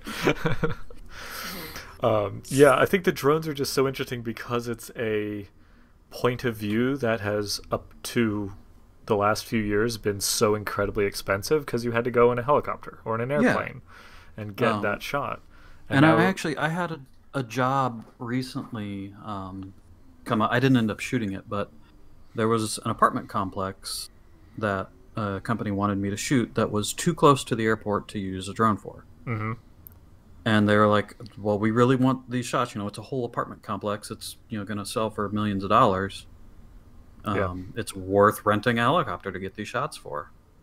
Oh, that's cool. Thankfully, they've now Yeah. changed the rules where I can fly there. Yeah. Um, But you just But have to be yeah, I- more careful and Yeah, it's Yeah. basically they made it where it's you're limited in altitude. The closer you get to the airport, the lower and lower you're allowed to fly. that makes good sense. yeah, Uh, I, I looked at the drone. It does not say Zeiss anywhere on the front of the lens, but Huh. know, who who, it, who knows what's really under there? Yeah, nowadays like Tamron makes designs of everybody's stuff. yeah. um, So did you did you use a helicopter to shoot the apartment complex? Uh, it, it ended up being uh, someone else actually ended up shooting it. Um, they waited Ah. basically. It wasn't very long before the drone rules changed, and Yeah, uh, they ended up using their staff drone guy. I've only I've only been able to shoot out of a helicopter once, and it was just last year. oh, And how it was that? It was wonderful. It was like one of my best days I ever had um, and it wasn't. It was a um. It was a Huey. Oh, And nice. like, Ooh. the, the way I got the hookup was uh, our we have a guy at ASU that used to be the head of the Alabama State Troopers. So he just Ah. made, and it, so it didn't even cost us anything. They, uh, he talked to me. They said, "Yeah, we go on training flights, and we have they have to go on these flights where they go and survey things and stuff." And said since where we were, where our the campus is, they said that I could just ride along, and when they got done doing what they had to do, then um, they would fly me around campus and let me take pictures. Oh, that's awesome. And and, uh, and they were like, "You don't mind? We, we have to ride around." I was like, "Hell, I don't mind. What are you talking about?" and they, they actually wound up flying directly over this place where I go I go fishing. I have a kayak and I paddle my kayak around there and fish, and it's a really neat place to take pictures because there's like, an old movie set in the middle of it and everything too. And Oh, that's So they, where like, um, what, the Big what- Fish Yeah. Big Fish was shot there. Yeah. Yeah, and uh, and they flew me over there. Then they flew me over this this swamp area that I've been wanting to go photograph. So I was able to like try to figure out where I can and can't paddle in. and they were like, well, they were like, sorry, it's taking a little more time than we thought before we get you to campus. I was like, man, you can ride around all day. I don't care. I'm in a And, uh, helicopter. This is fun. What are you talking about? oh yeah, and uh, and and what was cool about it, it wasn't like see everyone I've known that's that's shot out of them, they get in these little things where you have to like stick your feet out the side on the on the landing rod and and be aware of the draft and everything. Well, these guys have a door that opens, and it's like six feet high and eight feet wide, and I'm sitting in the gun. It was like a gunner seat, where you know, like if it was yeah, a that's military perfect. Yeah. there Yeah. would be a, a machine gun there, like an M2 would be mounted on a, a thing there. But I'm sitting there on this seat, and it's just like a, a giant window view of the whole world. And I was just like, I was, just, and they were just like, Kid in the okay? I candy was like, store. Yeah, yeah. Oh, it was Mm. amazing. Yeah, it was like the coolest thing. I, it, it, I was like, man, you guys have a much. You guys are the only people I know that have a cooler job than me. I'm, I'm You gotta guessing do you this had, every day. uh, I'm guessing you had the tightest grip you've ever had on your camera, though. you know the thing is though what is it's like when you uh, usually when I've, I've done aerials you get a Cessna because the Cessna is cheap. Like to rent to actually rent a helicopter is incredibly expensive. Yeah.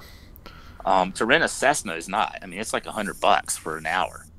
And uh, but in the Cessna it's like you got your pilot and you're you're and, and I'm kind of a big guy. I'm like 230 pounds and so you know you got your pilot and your elbows and his elbow are touching and then your other elbows touching the door.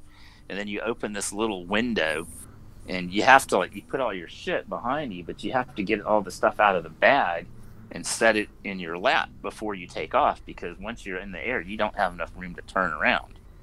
Mhm. and you know so you're you kind of like lean out the side and like twist a little bit and try to stay out of the airstream.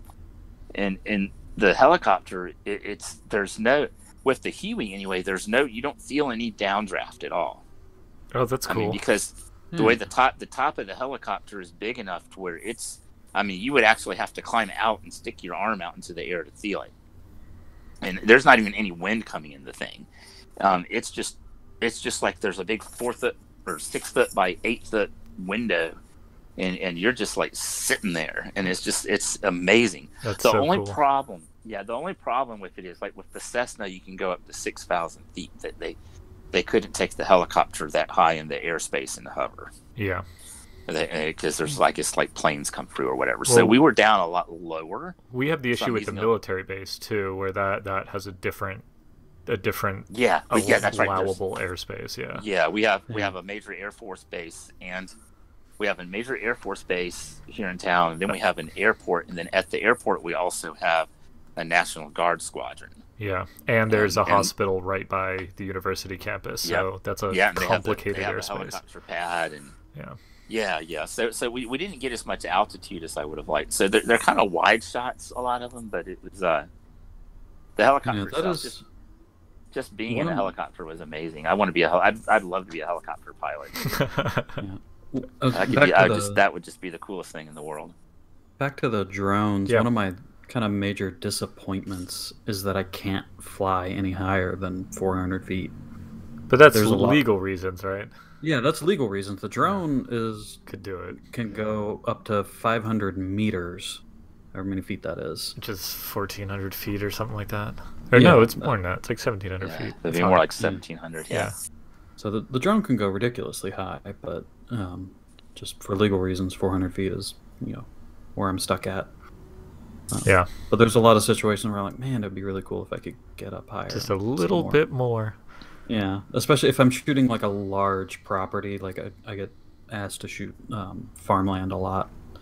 You know, 100 acres. It's like the you know, the only way to shoot this is to you know, I can't shoot it from directly above. I've got to pull back, get really far away, and shoot it at an angle. Okay, so this is super nerdy and a uh, total tangent, but is the flight ceiling higher if it's unpowered?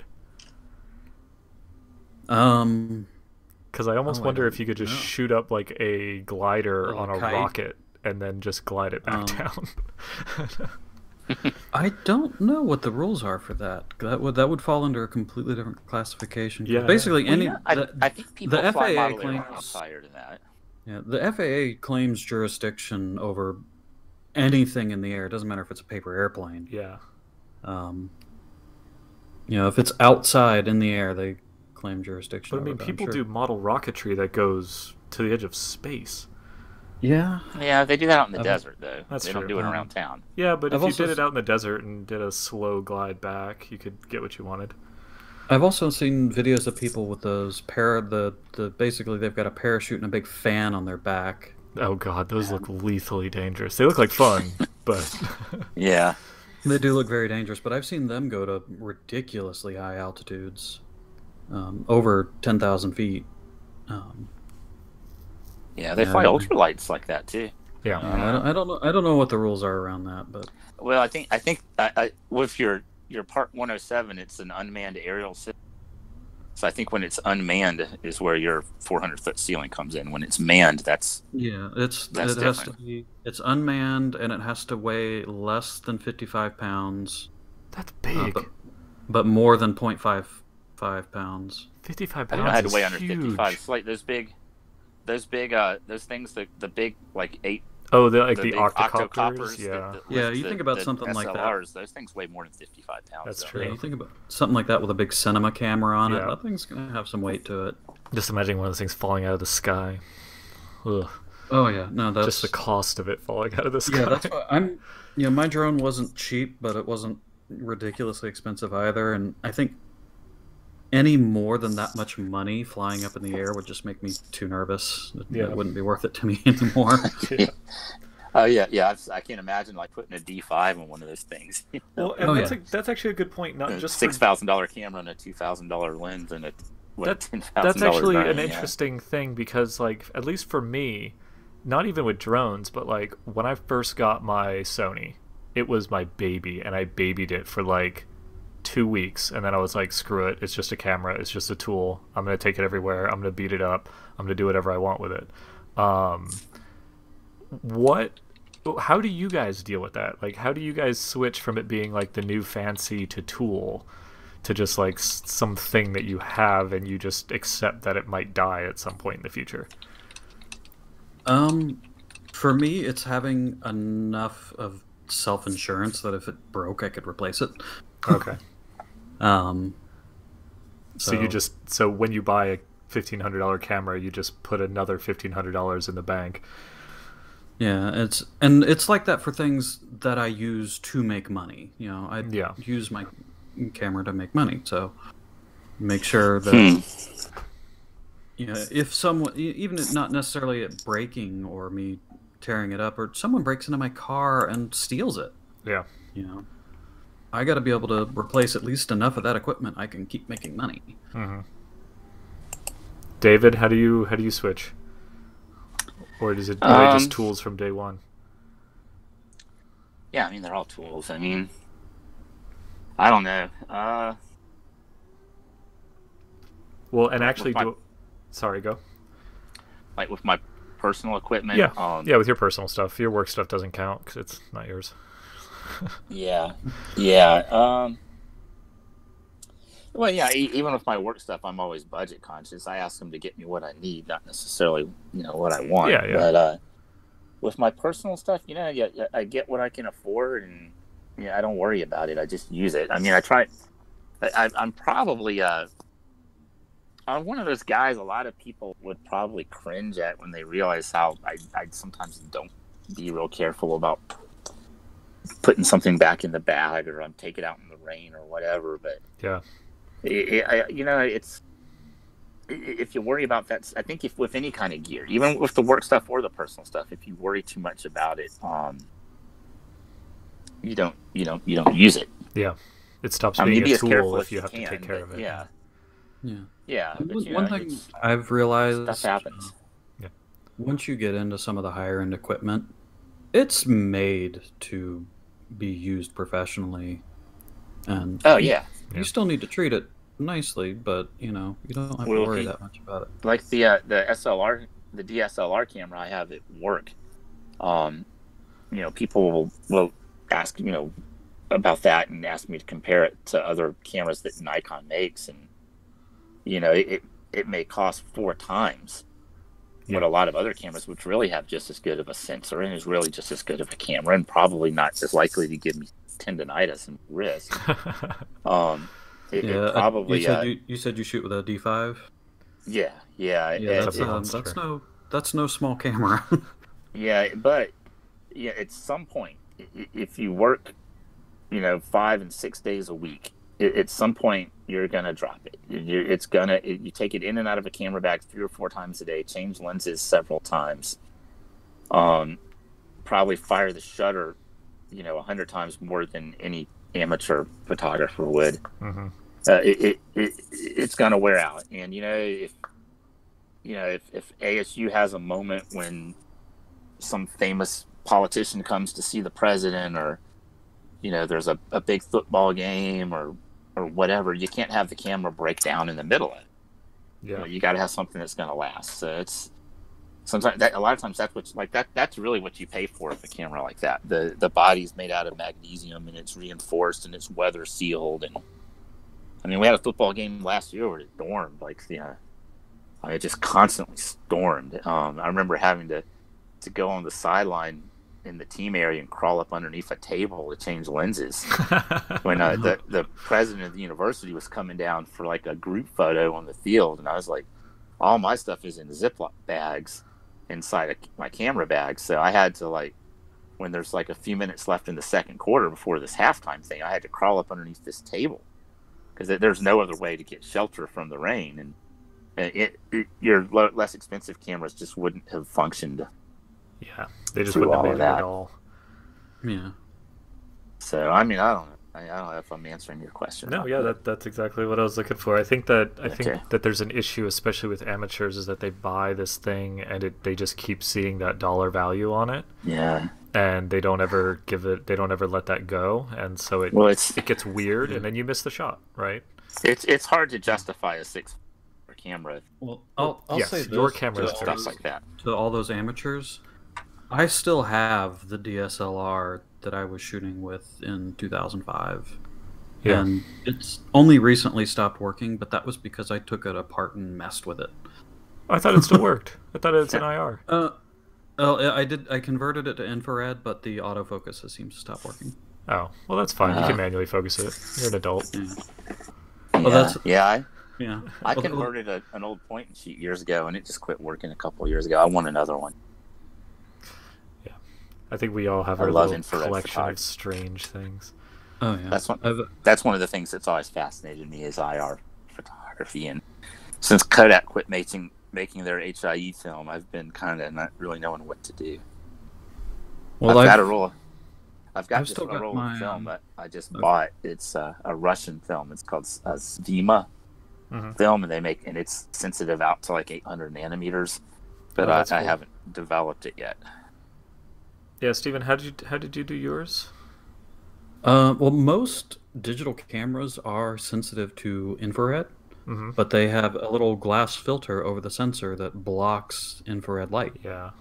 And most cameras, all you got to do is take it apart down to where you can get that piece of glass off the sensor, and uh, then you have to put another piece of glass either over the lens or over the sensor to block Visible. visible spectrum light. Um, but yeah, and I've actually I've still got my first Sony that I got, I think in 2013. Man, you're better than I Um, am. I destroy stuff. Well, you're still shooting with your your Sony, right? Yeah, but it's only like five years old.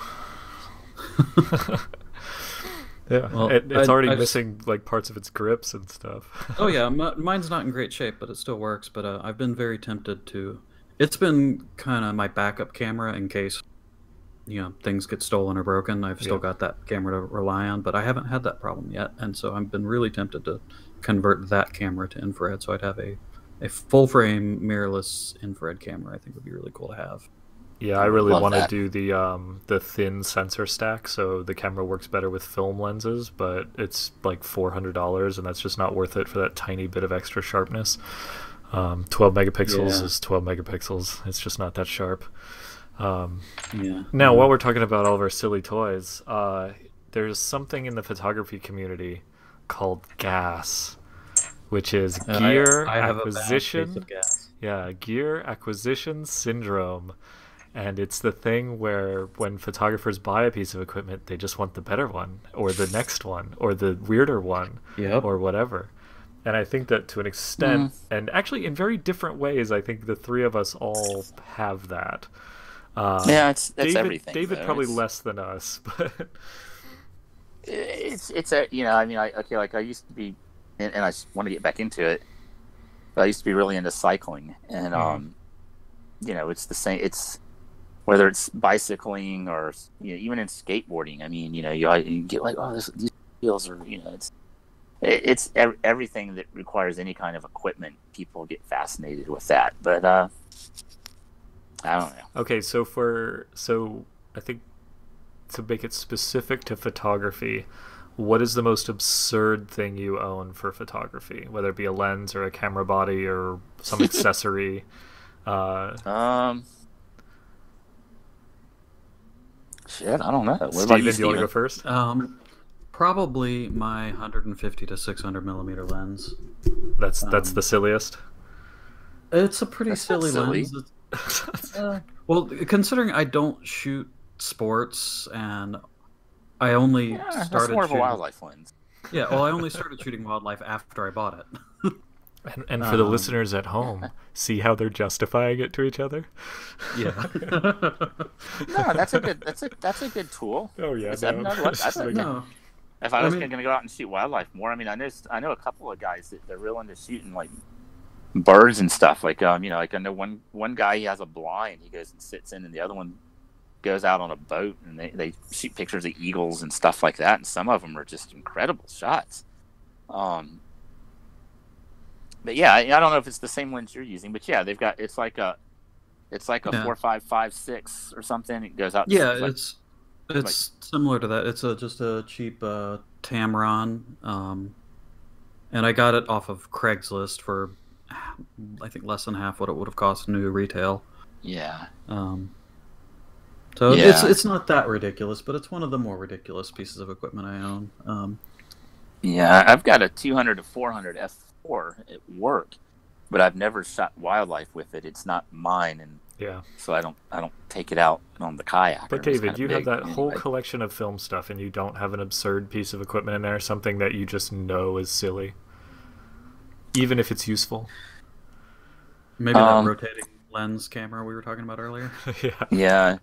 Well, that camera's actually no, that camera's actually not silly, and it's not. It was. I've actually, uh, I you know, on like you know, like on those trips I've done to South America and and a couple different places, I've used those rotating lens cameras and and gotten some really neat images. Um, Oh yeah. I used to carry it a lot at ASU when I first started working there, especially when we were using film. And it was always just generating uh, cool stuff. I, I get if I had to pick anything that I do more than other photographers do, or maybe that's like my little niche. It's panoramic stuff. I do a lot of stitching, Oh, okay. like shooting architecture and stuff. I do a lot of stitching and landscape. I do that kind of thing with digital cameras too. Um, and Does I've been your doing D5 that. do the auto stitch? Uh, I don't know, but I, I I've got a I, my Fuji. I think will. Yeah. But I don't. I, I do it manually myself. I, Oh, It doesn't work as well. Yeah. Yeah, I do it. I, I do it. I used to use. I, I, I started doing that when digital cameras came out. There was a program like uh, uh, ArcSoft Panorama Maker, Yeah. and I was I using vaguely that. remember that. Yeah, it's and then when Photoshop started doing, It was actually a lot better than Photoshop because you could drag little points in the images around Yeah. to where they would line up. But Photoshop's got to where it, it does it so much better now. It's it's really good. Um. So now that camera, I wouldn't call that camera. It's absurd. It's neat. Um. What do- what I have that's absurd? Um. It's got to be something. I well, got, like got for so for example, Um, I have a um, I have that X-ray lens. It's uh, what is it? It's uh, Rexar f.75 50 millimeter, but it doesn't focus on anything and it doesn't really process visible light correctly. But for Christmas, I get like amazing pictures of Christmas lights. That's like the one time a year I bust it Oh, I out need and to do some this. portraits. Oh, you haven't seen that? Yeah, what's the what's the what's the flange distance on it? Oh, it, it mounts to my Sony. Um, I actually I Oh, actually have mm, glued a mount to it for the Sony, and it's got like a focus range of like maybe five feet to ten feet or something like that. It's very very silly. Interesting. Um, but yeah, I'll send you some pictures from it sometime. Yeah. Um. What do I have that's absurd? Um. I don't know if absurd. I don't know. I don't, I don't know. I don't know. That- That's a that's a. I uh. That camera that you printed for me, maybe that thing. It's just kind of. Oh, neat. yeah. I, I, I kind of miss using it. Um, Did you break it? That. Oh yeah, you said the lens. You said you broke the lens. Yeah, I remember. Yeah, it- well, it's jammed up. It needs to be sent off to get repaired. Um, and we actually the flange distance was always just a little bit too long. The it, it instead of being at infinity, it's actually focused just a little closer. It's Yeah. like when you Well, open it up, to you fix. see you see things drop off in the distance. Yeah. Um, and what's absurd? Um, We can move on if you think all your stuff is here. yeah, yeah. I, I think it's all it's all useful. I don't have anything that's not useful some, in some way, shape, or another. Okay, well, we are going to run a little long on this, but I think that's okay. Um, David, Yeah, is there anything? out all Yeah, this yeah. Is there anything that you want to talk about with photojournalism? Because we talked a tiny, tiny bit about it, but I think it's an important thing, and you brought up, a, a, and you you sent me a few things about it. Um, if you wanted just Um, the crash course for for freshmen, general kids who are taking art for the first time, what do you want them to know about photojournalism? And Gosh, I'm, I'm excited um, to hear about this because I know absolutely nothing about photojournalism other than Oh, okay, some gosh, of okay. the, the the ethics of it. You know, Yeah, Um, don't stage pressure. photos. yeah, no pressure. yeah, David. pressure. Um, gosh, you know, I started with uh, another professor at ASU has been wanting me to do a talk for his communications class, and, and Mhm. I think he thinks I've put him off, but I, I really haven't. I just it, we were really busy with uh, you know we at work, you know, we were going on that bus tour every day Yeah. and all this stuff, and then as soon as that's over with and we start to recover from that, there's a virus. Um, Uh huh. so I never got to do that class. Um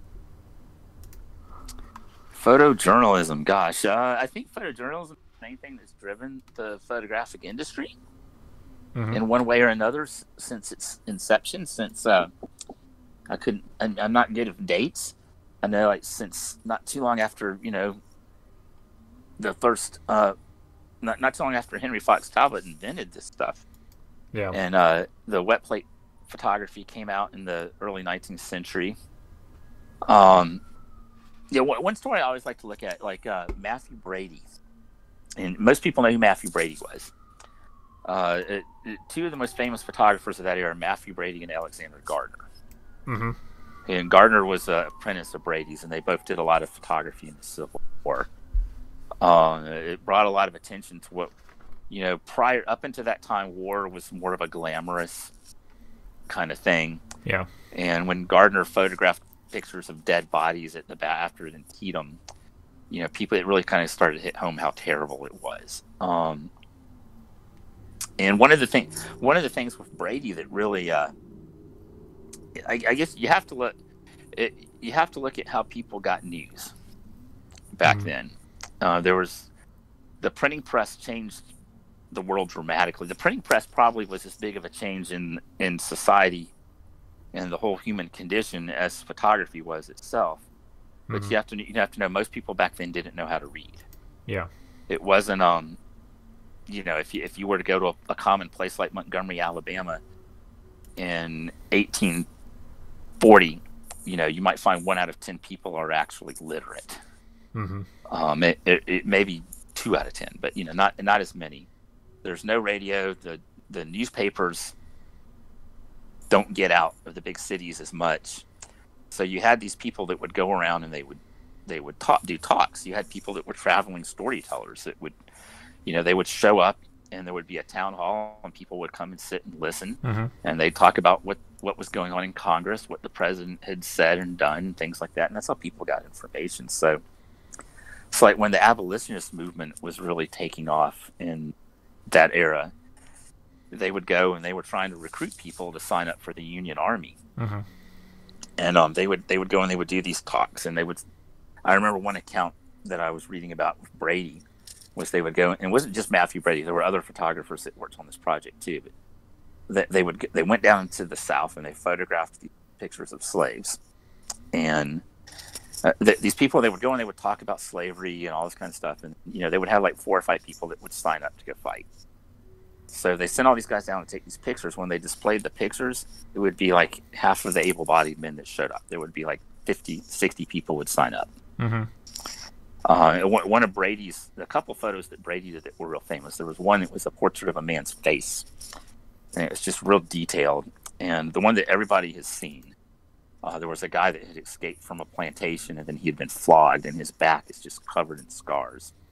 So he's seated in a chair, and it's a photo of his back. I've seen that. I think, yeah, everybody's. If you haven't seen that photo, you haven't studied American history. Yeah. Um, but that that was a big. That was something that that enacted social change. Um, and and it was what photography did it so abruptly. I mean, there were there were people that were publishing newspapers and going and doing. There was a there was a guy out of Ohio, Elijah. Um, I can't remember his name, but he published a newspaper. Um, and he traveled around the country passing out his newspapers, but without pictures, it just it never really got a lot of uh, ground. Yeah, a lot of when traction. Brady's, yeah, when with Brady's pictures, you know, then you know you move into the 19th century, the later 19th century, throughout the Industrial Revolution, people were seeing what was going on in the world because people were photographing it. Um, you look at uh, you know, you know, as, as westward expansion took place in our country, you know, you have the photographic records of what things were like Native Mhm. American life. Um, oh, who was the guy that did all the photogravure prints? The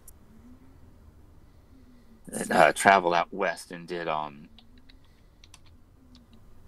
did all, spent his whole life photographing uh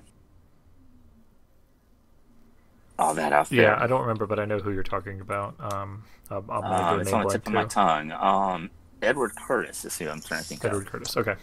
Yeah, yeah, and you look at uh, you, you, right up through all the world wars. Um, you know, since then we've lived with with images of things. It's like uh, I think it's, like, it's sort of like it's like I was saying earlier. You know, every time you, you capture this little moment in life and you preserve it forever.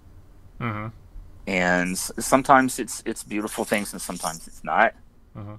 Um, I think one of the things I suggested we discuss was like the Farm Security Administration Yeah. that was a big changing thing in photography. Uh, that started, I don't know, it was in the 30s. I don't know what year. Mhm. Um, but pretty much what happened more or less was, uh, you know, we're in the height of the Depression, the Dust Bowl, um, a lot of real bad economic times. And I- I think a lot of people, I I think the consensus was a lot of people didn't realize exactly what everyone was dealing with. Mm-hmm. So they, they hired these guys to go out and document it. Um, Walker Evans was one of a big one. Dorothy, everyone knows Dorothea Lange because she has a the photo migrant mother. Um, yes, that's the the one with the mother and two children facing backwards. Uh, we definitely cover that one in class. yeah, I that's think a a lot very- of people don't. People, a lot of people don't realize that photo is actually edited slightly. Well, it's also staged. Yeah, yeah, that's been that's been it. That's been well. She, he shot. She shot it, it. She had asked her to what degree it was staged. I mean, she had asked her to sit down, but yeah, there was a. a Well, if you there's there's that you can actually pulls the see the rest of that back. roll of film. If you like Yeah, that, you can Yeah. see how she staged it, but no, there was um, Yeah. no, I think it was a thumb or something that you know this is Yeah, it long was- it before was- Photoshop, but There was, was a hand that pulled the flap on the tent back so they could see her Yeah. better. Yeah. Yeah, Yeah, that's that is that's another f- famous story there. Um, Gordon Parks was a real was a big part of the Mhm. Farm Security Administration. Uh, Arthur Roth, Rothstein's. Uh, there, there, there was about I guess there was about a dozen of them that were uh, that were involved. Walker Evans, Dorothea Lange, and Gordon Parks are probably the some of the most well known ones. Walker Evans, especially. Walker Evans traveled all over the country, and he he set out to document American life. Mhm. Um, and was one of you know he was one he was one of the premier early modern photojournalists, I guess you could say. As, as you have to understand uh, when you go back to like the 19th century stuff and earlier, newspapers weren't printing photos as much. Um, there weren't there weren't as many photos in newspapers. It was Yeah. a more difficult process. Uh, you had to make a half. You still they still do halftone prints. Yeah, but But halftones were a lot that- harder. Yes, it was a much more difficult process to do. Um, when you deal with national news, up until the 1930s with the first wire photo, there wasn't really a way to transmit photos around. I mean, if you Mhm. took a photo and watched, you know, if, if the president gets shot or whatever, you, you can't get that photo to the other side of the country, you know, inside of two or three days. Yeah, you have to physically transport the. Yeah. the first wire pho- the first wire photos it was around the 30s too when that when the first wire photos came out which Mhm. is another another really cool story in photography with the associated press um, that they had designed a machine where they could take a four by five piece of film which most of your photojournalists use speed graphics and shot four by five anyway hmm and they could put it on a drum and there was like a little tiny light that would blink on and off and a little tiny sensor so it would spin around in this drum and then the light would blink on and off and the sensor would see either see darker light and it would that would create and it would create a signal Yeah. that made dots well they would what they would do is they would have these machines set up through a telephone line and then on the other end there would be a piece of blank film and that little when it would receive the signal on or off it would flash a little tiny little like a little tiny light on or off and expose or, or not expose a little where a little dot was. And then they would get that image transmitted through the phone line. Hmm and these machines cost like it's, it's, the cool thing about the story is the machines they cost like uh i don't know it was like a $250000 $300000 machine. Jeez. which which at that time frame you're talking like a couple million dollars Yeah. so they picked like six newspapers they wanted to do it at and um, the guy that was the ceo of the associated press was the one who was vehemently against the whole thing he said it would bankrupt them and that he would he would quit he said that people only cared about reading that photography was just supplemental oh god. and, and, and so on and so forth and uh and he, he sold all of his stock and quit the board That was a and, uh, wrong choice. and the, it was a very wrong choice. And they went free with it. Um, the first day they set it up, uh, the Denver Nugget, which is like a paper that's now defunct day and age. Um, There was like a politician that like he was flying a plane with his family and he crashed into the side of a mountain. So, so a guy drove up and took a picture from the side of the road of the plane wreckage, and then drove back to the paper, and that was like the first image that was transmitted over the wire. oh, that's cool. And then, terrible, like a- cool. It was like a few days later, uh, Charles Lindbergh's baby was kidnapped from his house. And then they transmitted a picture of the ladder up to the window where some guy had like climbed in and stole the baby. And that Jeez. became like one of the first massive, overly sensationalized news stories where photos were being transmitted regarding that story for you know the next several weeks. Yeah. And um, that's pretty much what secured wire photography. Yeah, that would do it. It just it just evolved from there. so it's news has been sensationalized for as long as we've had news. yes. Yeah, yeah, it, Oh, ha- God, it has, yeah. but that's Um, that's one of the big changing things there. I don't know. It, it's it's hard for me to like not actually plan to talk about. that No, sort that's of fine. thing. I think that that's a pretty good coverage of the beginning of, of Yeah. news and or a big, the beginning of photography and photojournalism. Yeah. Really, a lot of And it you- was just that it was something that just had not happened Yeah. before, and it's something that I think that the problem is is that none of us can imagine a life without it. Like Yeah, we just have Well, always the- had it. Yeah, the, the Well, FSA. The, the F, I'm sorry. Go ahead. I was going to say, I think it's incredibly interesting, kind of the way photojournalism is evolving now that everyone has a camera on them. Yeah. Um, Yeah. I think about the the protests still going on in Hong Kong. Yeah. You know, you think about what happened in the Tiananmen Square massacre. There's one We- photo Yeah. or like We've got one famous photo of that, and Yeah. now Well, we have a lot. We have a lot of. Yeah, and I know there there are that- a lot more one, photos. Yeah. Um, Tank Man. Yeah. Yeah but but yeah, one that now people know. Now we just have you know so much video from what's going on in Hong Kong. You couldn't possibly sit down and consume it all.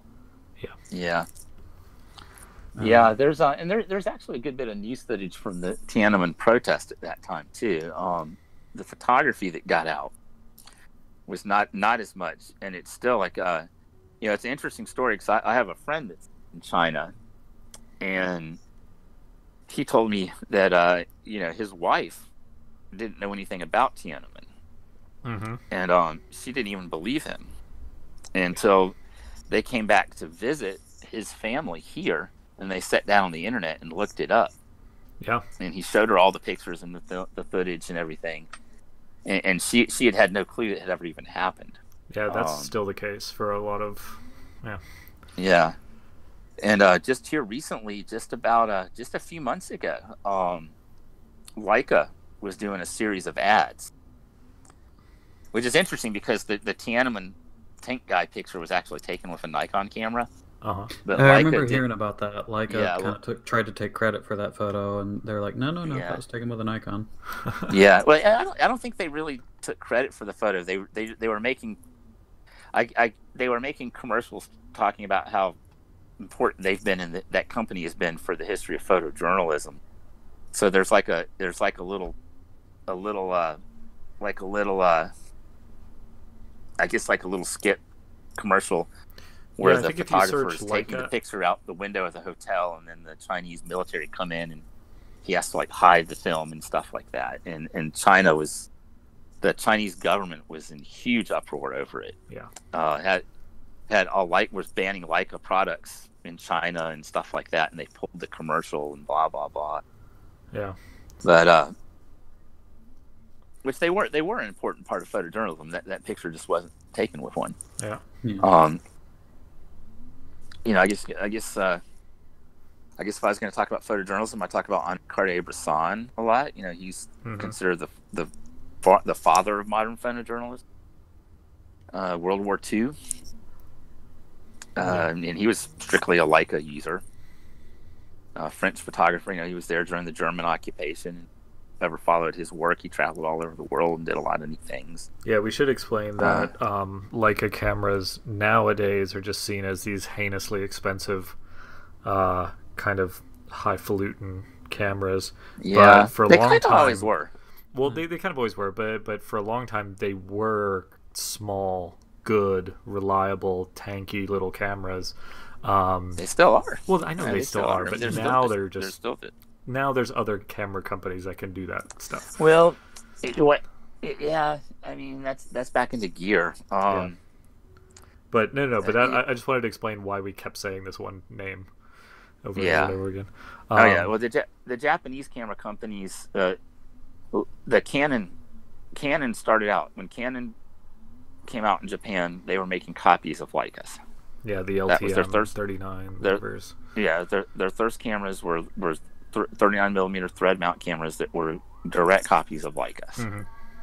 Um, when Nikon started out, their first cameras were direct copies of Contax, which is another expensive German brand from the era. Um, did not they more recently went out of business than Mhm. they finally folded. Leica's struggled the past several years too, but uh, it, it, they came out and they were cheap.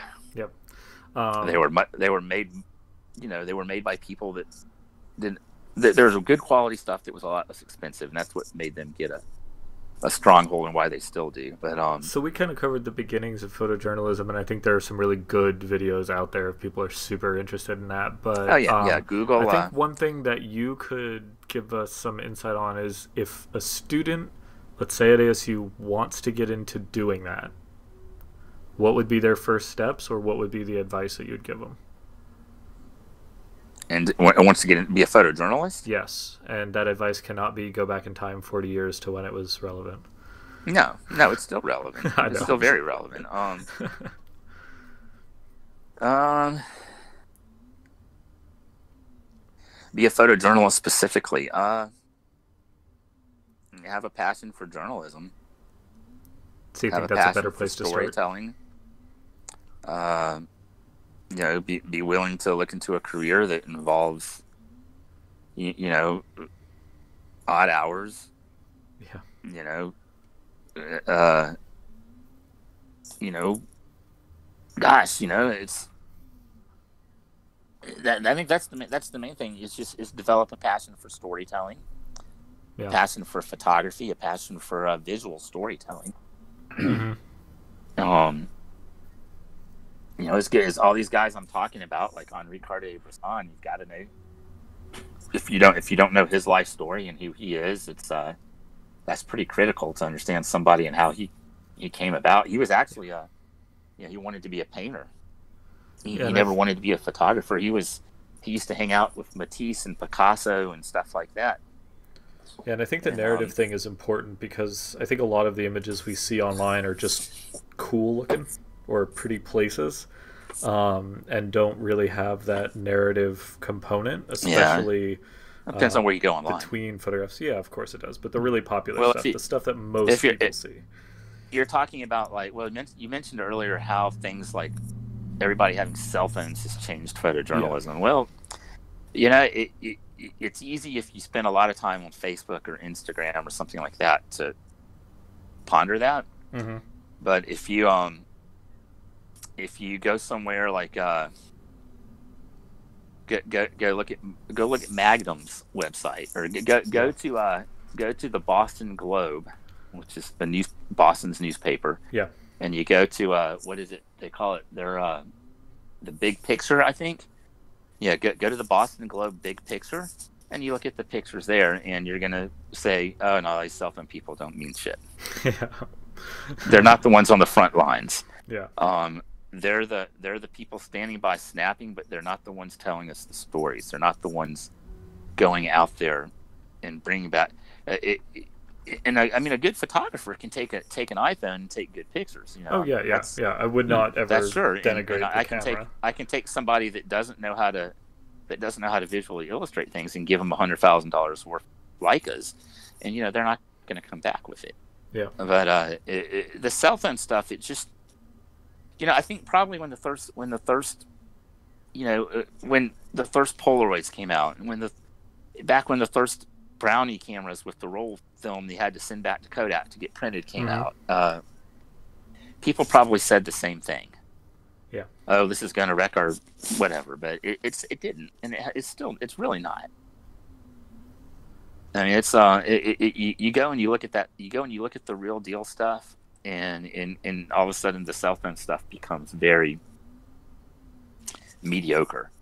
Um, I think it's changed some things. Like I see a lot of like, uh, and, and you know, so, sometimes at work, you know, at the university, I'll you know I'll see, I see a lot of things go through our social media that come from mediocre sources, and I think it yeah. tends to make it tends to make things just sort of blend into the mix. Yeah. Um, it's when you get those really visually interesting photos.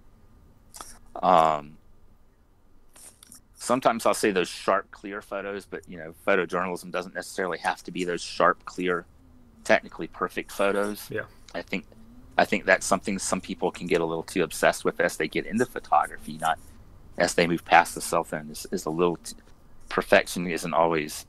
I think one of the things um, I, in my suggestions I gave you was comparing Robert Frank mm-hmm. and Walker Evans, and uh, the big jump. That was one of the big evolutions in photojournalism, right there. Um, Robert Frank immigrated to America. You know, I, I, don't know where he was from. He was from, uh, I don't know if he was like French or German or Swiss or something. He came from Europe, but he came over here in the '50s, and um, he kind of set out to do what Walker Evans had done because Walker Evans' body of work is like of all the farm security photographers, Walker Evans you, you were more familiar with Dorothea Lange's one photo or um, Mhm. uh, Gordon Parks' American Gothic, which is an amazing photo as well, with an amazing story behind it. Mhm. Um, but Walker Evans really traveled the country and covered everything. And it's this huge, amazing body of work. And he was sort of a perfectionist. Um, you could tell he was a little bit more of one to set up pictures, Yeah, um, definitely. shoot a larger format film. Um, Frank was one to not worry about whether or not things were blurry or in focus. He was one to shoot 35 millimeter and uh, not and worry more about the storytelling aspect of it than the actual photo quality. hmm And that's one of the things I think that actually, even though cameras got better and things, you look at you look at photojournalism, it really came to where it's more about the picture than the technical perfection. You know, photographers like Ansel Adams, um, these guys were all about technical perfection, and they went off into one area, and the, the news photography went off into another in that aspect. And that's that's an interesting an interesting thing to compare and contrast in in photography. But uh, Robert Frank, um, he published a book called The Americans, hmm and that's probably to this date. That's probably if, if I had to pick like the most single important book of photography ever created, I would probably say Robert Frank's The Americans. Is it the Americans um, or is it American photographs? The Americans. Okay. I hope. I'm pretty sure. Yeah, no, the Amer- it was like like 1950s, late mid 50s, something like that. Um, gosh, Uh, I, I just looked it up for you. It's uh, 1958, and it is Ah, the yeah. Amer- it is the Americans. Yes, there it is. Okay. oh, cool. Thank you. Okay. Yeah, yeah, I was just starting to worry about. I don't know. Yeah, gosh, yeah, I'm one to like not remember correctly. Oh no, that's fine. Um, Yeah, I think that that would be a really yeah, I was good- thinking probably a little before 58. But Walker Evans actually, he came to do that book. He came to, to work on that series because he was an admirer of Evans. And I guess Evans secured him. I don't know the whole story behind it, but um, Walker Evans actually secured him a grant to go and do it. Oh, that's cool. But um, oh yeah, incredible stuff. Um, yeah, see, Henri Cartier-Bresson, Robert Frank. Gosh, there's been so many, you know, important photojournalists since then. oh yeah, and that's that's pretty easy to find. I, I really Yeah. was interested in what you were what what you thought was the the thing, um, and we've got that. Um, Yeah. I think And that. street photography. Street photography is another. Oh yeah, street photography is a whole bag. We're not getting into. Oh. We're not going to get into. Yeah, well, that's kind of evolved out of photojournalism. Yeah. It's a different, a little bit different. Um, it's become very popular these Yes. past few years, even though its golden age kind of died out in the '60s. Yeah, for for anyone hang out west interested in street photography, just as a passing note, tell them to go look up uh, Sean Tucker on YouTube. Okay. Sean Okay. Tucker on YouTube. Go look at that, guys. Um, Yeah. How does he spell Sean? Um, S E A N. Okay, cool. Thank you. Um, so we're actually getting close to the end here. We've we've burnt a lot of time. There's a few things we're gonna skip, um, but I think that an important thing is, and I want a little bit of this from both of you, uh, is I have a student who's taken. Let, let's just say I have a hypothetical student who's taken some pictures on their iPhone. They take some selfies. They take pictures of things in their life how does that student get started and how do they get better moving towards what the three of us would consider photography from just taking pictures uh, Stephen, you want to go first on that one Yeah, sure. Um, I would say if you can afford it, find a camera, any camera that you can change lenses on, mm-hmm. and just start experimenting. yeah and i would say Um, that nowadays you can get an old like sony mirrorless body for about a hundred bucks on ebay and get one of those Yeah, they're cheap and easy and if you break them you won't be sad yeah, you can get used equipment cheap. Um, uh, anything made in the last, you know, eight, five, eight years is gonna probably be more camera than you are a photographer. yes Um, and I've I've been in that. I don't mean to be insulting, but I've been in that situation many times myself, where I've got a, you know, camera that far can do a lot more than I can do with it. Yeah. Um, and just keep practicing, keep learning. um, you know, as long as it's interesting to you, keep doing it, and eventually you'll learn more and more, get better and better. Yeah. David, you got anything for getting started or Um, getting better? Same, same thing. Uh, get some basic equipment. Don't worry too much about gear acquisition. Get a uh, a basic camera and a basic lens, and before you start worrying about trying to get more equipment, learn how to use it. Learn how to use it first of all. Um, learn learn learn how exposure works. Learn know all your f stops and your shutter speeds, your reciprocals, and uh, understand all all the mechanical stuff early on. I think. Uh, I think when I started, you know, there wasn't any such thing as a digital camera, and we weren't allowed to have a, a camera.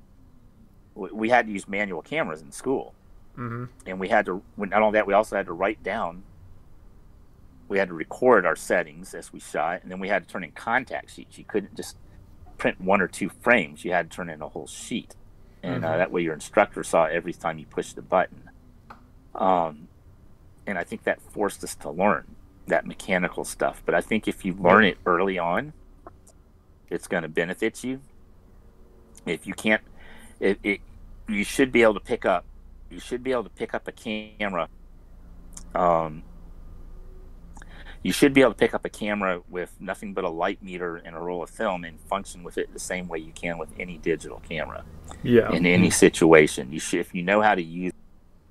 Um, and once you've got that knowledge, you kind of forget it. You, it's sort of like, it's like you know when you learn to drive a car with a stick shift. You know, you you, you have to sit there and carefully release the clutch and shift. But after a while, it's just kind of it's like tying your shoes. You know, you don't. When you're a little kid, there was like a little rhyme, lefty over righty or whatever. You know, once you get past age eight, you know, you just do it. Yeah. Um, so you learn to use the camera first, and you develop a, passion making images. You know, think- you you get out, you find guys like me and Stephen. Um, I've never had a situation where a student came up to me and asked me questions where I didn't want to talk to them. And it may happen when I'm too busy. Yeah. But there's never been a situation where if I thought they were genuinely interested, I wasn't there to help. And when I was young, there were a lot of old guys that were there to help me.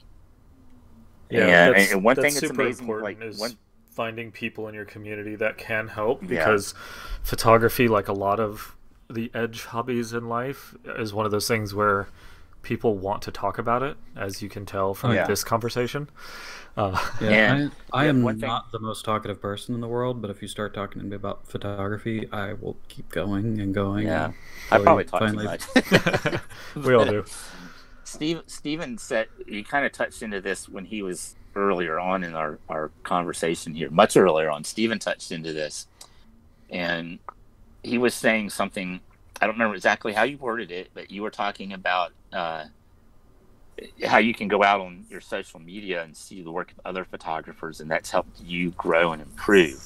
Well, uh, the neatest thing about this profession, Mhm. um, the people in it, I mean, and even the freelance people. I mean, you'll find people that uh, that want to keep their secrets guarded or, or whatever, but those are kind of rare. And you know, I mean, the Yeah. most of the people are incredibly cool Well, and, and, there there there are people that will look at you if you're their direct competition and tell you how they did something. A hundred, right, they'll make sure you learn it. They'll well, teach that's it to you. the interesting thing with with Yeah. photography, and I feel like it's a little bit kind of like auto racing or motor racing of any kind, of where people get so excited about how they got it done that that's what they want to share. Like the results Oh, are yeah. almost Yeah. secondary to the process. Yeah, if I learned a new technique or new way of taking a photo, I can't wait to tell somebody about it. Yeah.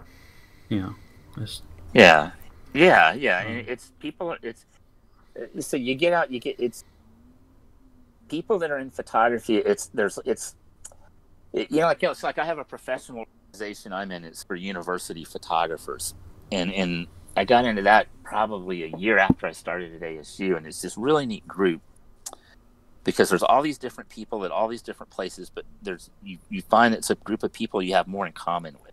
Yeah. I, I, I think everybody, that, it, it, to a certain degree, everyone who succeeds in photography is probably has a little bit of ADD, Yeah. if not a lot. Um, some of us are like crazy with it, and uh, and it's one of the things I think that that makes you good at the job because you're always doing things differently, and you kind of go from thing to thing, and um, and we, we there's just like a certain uh, there's like a certain quirk.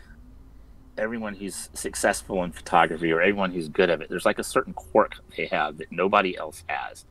It's Mhm. almost like it. it, it, it, it I, I can sit down with somebody who's can be um of a completely different background, mindset, religion, you know, ethnicity, uh, gender, whatever, and I find that I almost have more in common with that person than just about everybody else. Um, Yeah. I mean, skateboarding is a similar thing. Um, Yeah, I think any Well- just like really serious hobby kind of has that sort of, or not hobby, but any skill or technical acquisition, whatever I you want to call know. it. See, I don't know. I don't think so. I don't think so. No, I think I think Really? photography is more unique. I think photog- I think people that are in photography are, are probably uh, are probably more quirky than everybody else. I, I don't think doctors and lawyers and mechanics and uh, it- it- maybe maybe every profession has something in a personality that drives people to do it. hmm But I think I think photography is one that, that takes that to an, a different level I can see that. and um and and I can connect with people like um uh, like, like I don't I you know like uh, like Stephen here he, we've never met I don't I don't even know what he looks like or anything but I, I can tell he's probably somebody that you know if he, he could probably like shoot me an email tomorrow and say hey I'm going to be up in Alabama I was like oh you need a place to stay yeah. I mean, yeah, we're, we're Yeah. gonna we're we're gonna get along. You know, I Yeah. mean, I'm gonna, I've got this guy's back. Um, Yeah, you want to come shoot at the coast? Come stay down here. After, after, Yeah. after the virus is over. yeah. Yeah, after- well, gra- grab, grab your kayak and meet me halfway, and we'll go paddle, Yeah. paddle the uh, cheesy pond. I'll send you some pictures of it. It's pretty freaking amazing. Yeah, I think that's a really Um, good point that it, it is something that brings people together in a lot of ways. Yeah. And it's interesting because if you find somebody who knows more than you, you immediately drill them for everything they know. And if Oh, you find somebody who knows less Yeah. than you, then you just start explaining. Um, Yeah, and I think They can- let's end on one important question. Or, Stephen, did you have something? I was just gonna say that uh, it reminded me what he was saying about a um a photo workshop I went to in Yellowstone. Mhm. I didn't know anybody there, but we all got along great. yeah. Yep. I Yeah, remember you going yeah. Um, okay, so what I want to end this on is either um, where do you get your inspiration, or who or what should we be paying attention to if we're starting out in photography or trying to get into it or just interested? Whichever one of those questions you want, it's yours. Um, I, I guess I can take this. Yeah, go um, for it. I just tell people where I pay attention. Yeah. and that is um, YouTube. Um, I've learned quite a lot of what I know from YouTube and um, other social media forms, but um, people, um, two particular YouTubers, uh, Thomas Heaton. Uh, he's a landscape photographer in the UK Mhm. and he talks a lot about just his whole process you know going out camping and he might show you two images on a 20 minute video Mhm. because for him it's just all about the process Mhm. and the experience of going outdoors and taking an image Mhm. and then um, the other one is uh, the art of photography uh, which Oh is yeah, uh, I like that guy. YouTube. Yeah, Ted Forbes. Yep. Um, if you want to understand I've more about the history of photography and um, yeah. What what was the first one you said? uh, Thomas Heaton. H E A T O N. Yes. Okay, cool. Thank you. Um, yeah, I'm gonna Google. Um, And David, who should we pay? Who should we be paying attention to, or where do you get your inspiration?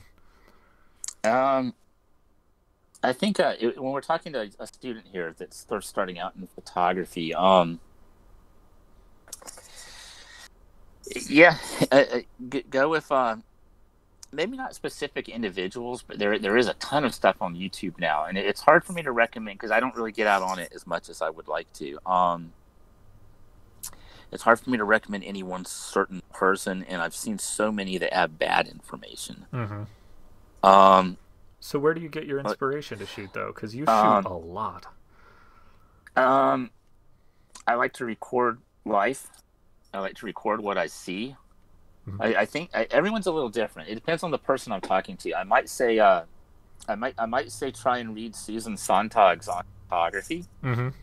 Which is a collection of essays by a, Yes. a New York art person that kind of um easy easily goes over the head. It, it's it's a lot of uh, technical reading.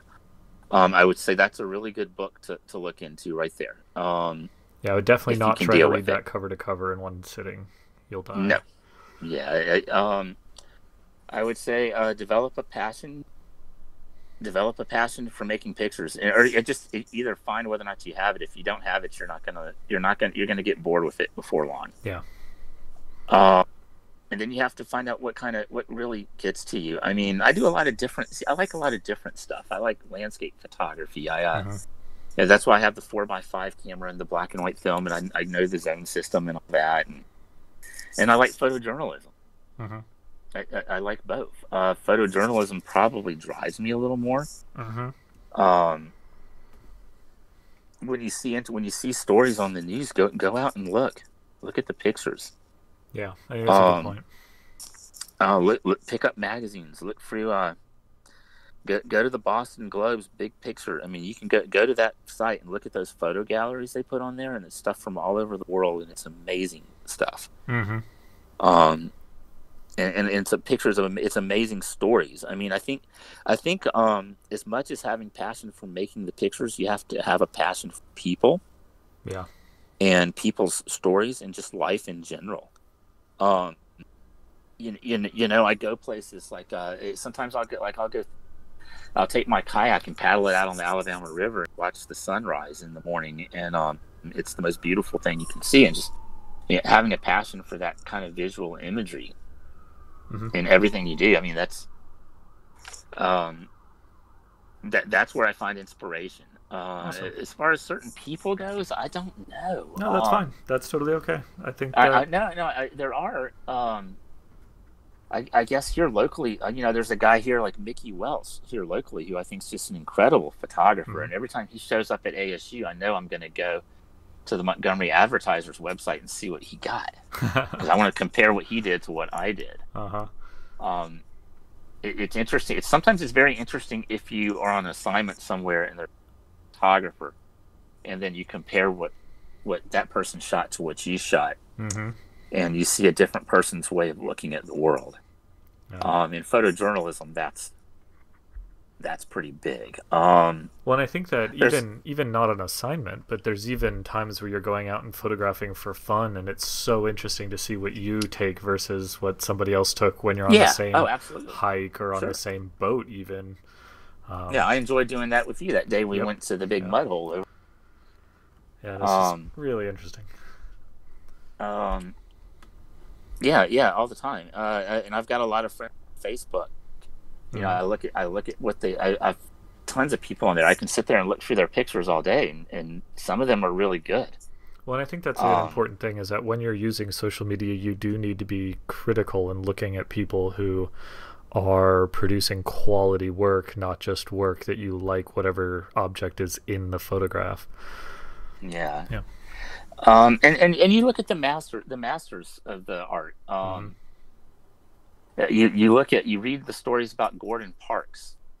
Um, you, you look at Walker Evans, you look at Robert Frank, you look at, um, uh, Henri Cartier-Bresson, uh, Sebastião Salgado is a Mhm. photographer. Um, I've actually got that- uh, Salgado's uh, one of his books. Um, yeah, nice. Just yeah. gorgeous to just thumb through. Yeah. Yeah. And, and Yeah, that was a big also, white guy, guy there. Um, Photography there's- books really are not that expensive anymore. Um, some of them Some are. of Don't get me wrong. Some of them aren't crazy expensive, but um, Yeah, they're really not expensive. that bad. And seeing those photographs printed on these larger format photography books is really just stunning. I mean, it's it's the experience versus seeing something on a screen is just different. Oh yeah, Yeah. Um, it's, it's yeah, everything kind of blends together on the Yeah. screen. we, Um, di- we didn't even talk about the difference between screen and print, and we don't have the time. Um, Yeah. And So speaking of actually- Salgado, real quick, there, Oh, yeah, if go. you have Netflix, um, look for uh, the Salt of the Earth, which is a documentary about him. okay. Oh, I was not Um, aware that was there. Neither was another name to another name you can't not mention if we're going to talk about photojournalists, probably James Nachtwey, Mm-hmm. who's still working and probably the most most well known uh, still working photographer in our time. Mhm. Um, amazing, incredible. Google. He's got a TED talk. Uh, there was a documentary Oh, made about him too. It was called War Photographer. It was made during the Balkan. Most of it was Okay. filmed during the Balkans when he was shooting there. If you're a if you're in photojournalism, you, you have to see the movie War Photographer because it will uh, it'll challenge all of your concepts about uh, the mission of photojournalism and the ethics within it, and uh, it, it it plays into all that more than anything. And Nachtwey is somebody who's made it his entire life. Yeah. Uh, he's had no other life besides that. He's Yeah. had like all kinds of.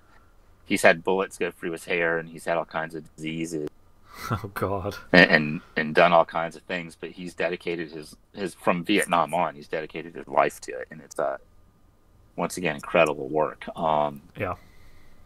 yeah, I would list. I would list off uh, for somebody starting. I, I Yeah, I for someone starting out, I would say go back to you know learn the mechanical stuff, make your connections, learn the works of all these masters, have passion for it.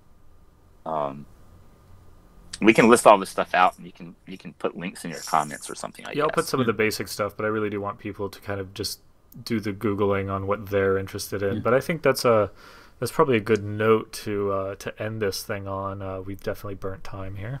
Um, but yeah, thank you so much to both of you for joining me today. I, I assume that we could talk about this for another hundred hours and not run out of Oh, stuff sure. to talk about. Yeah. Well, Um, cut out half of what I said so I don't sound like an idiot. Nope. You got to keep all of it. um, but yeah, uh, thank you so much to both of you. Uh, it's been great, and this will be a good resource going into the future. Uh, thank you both.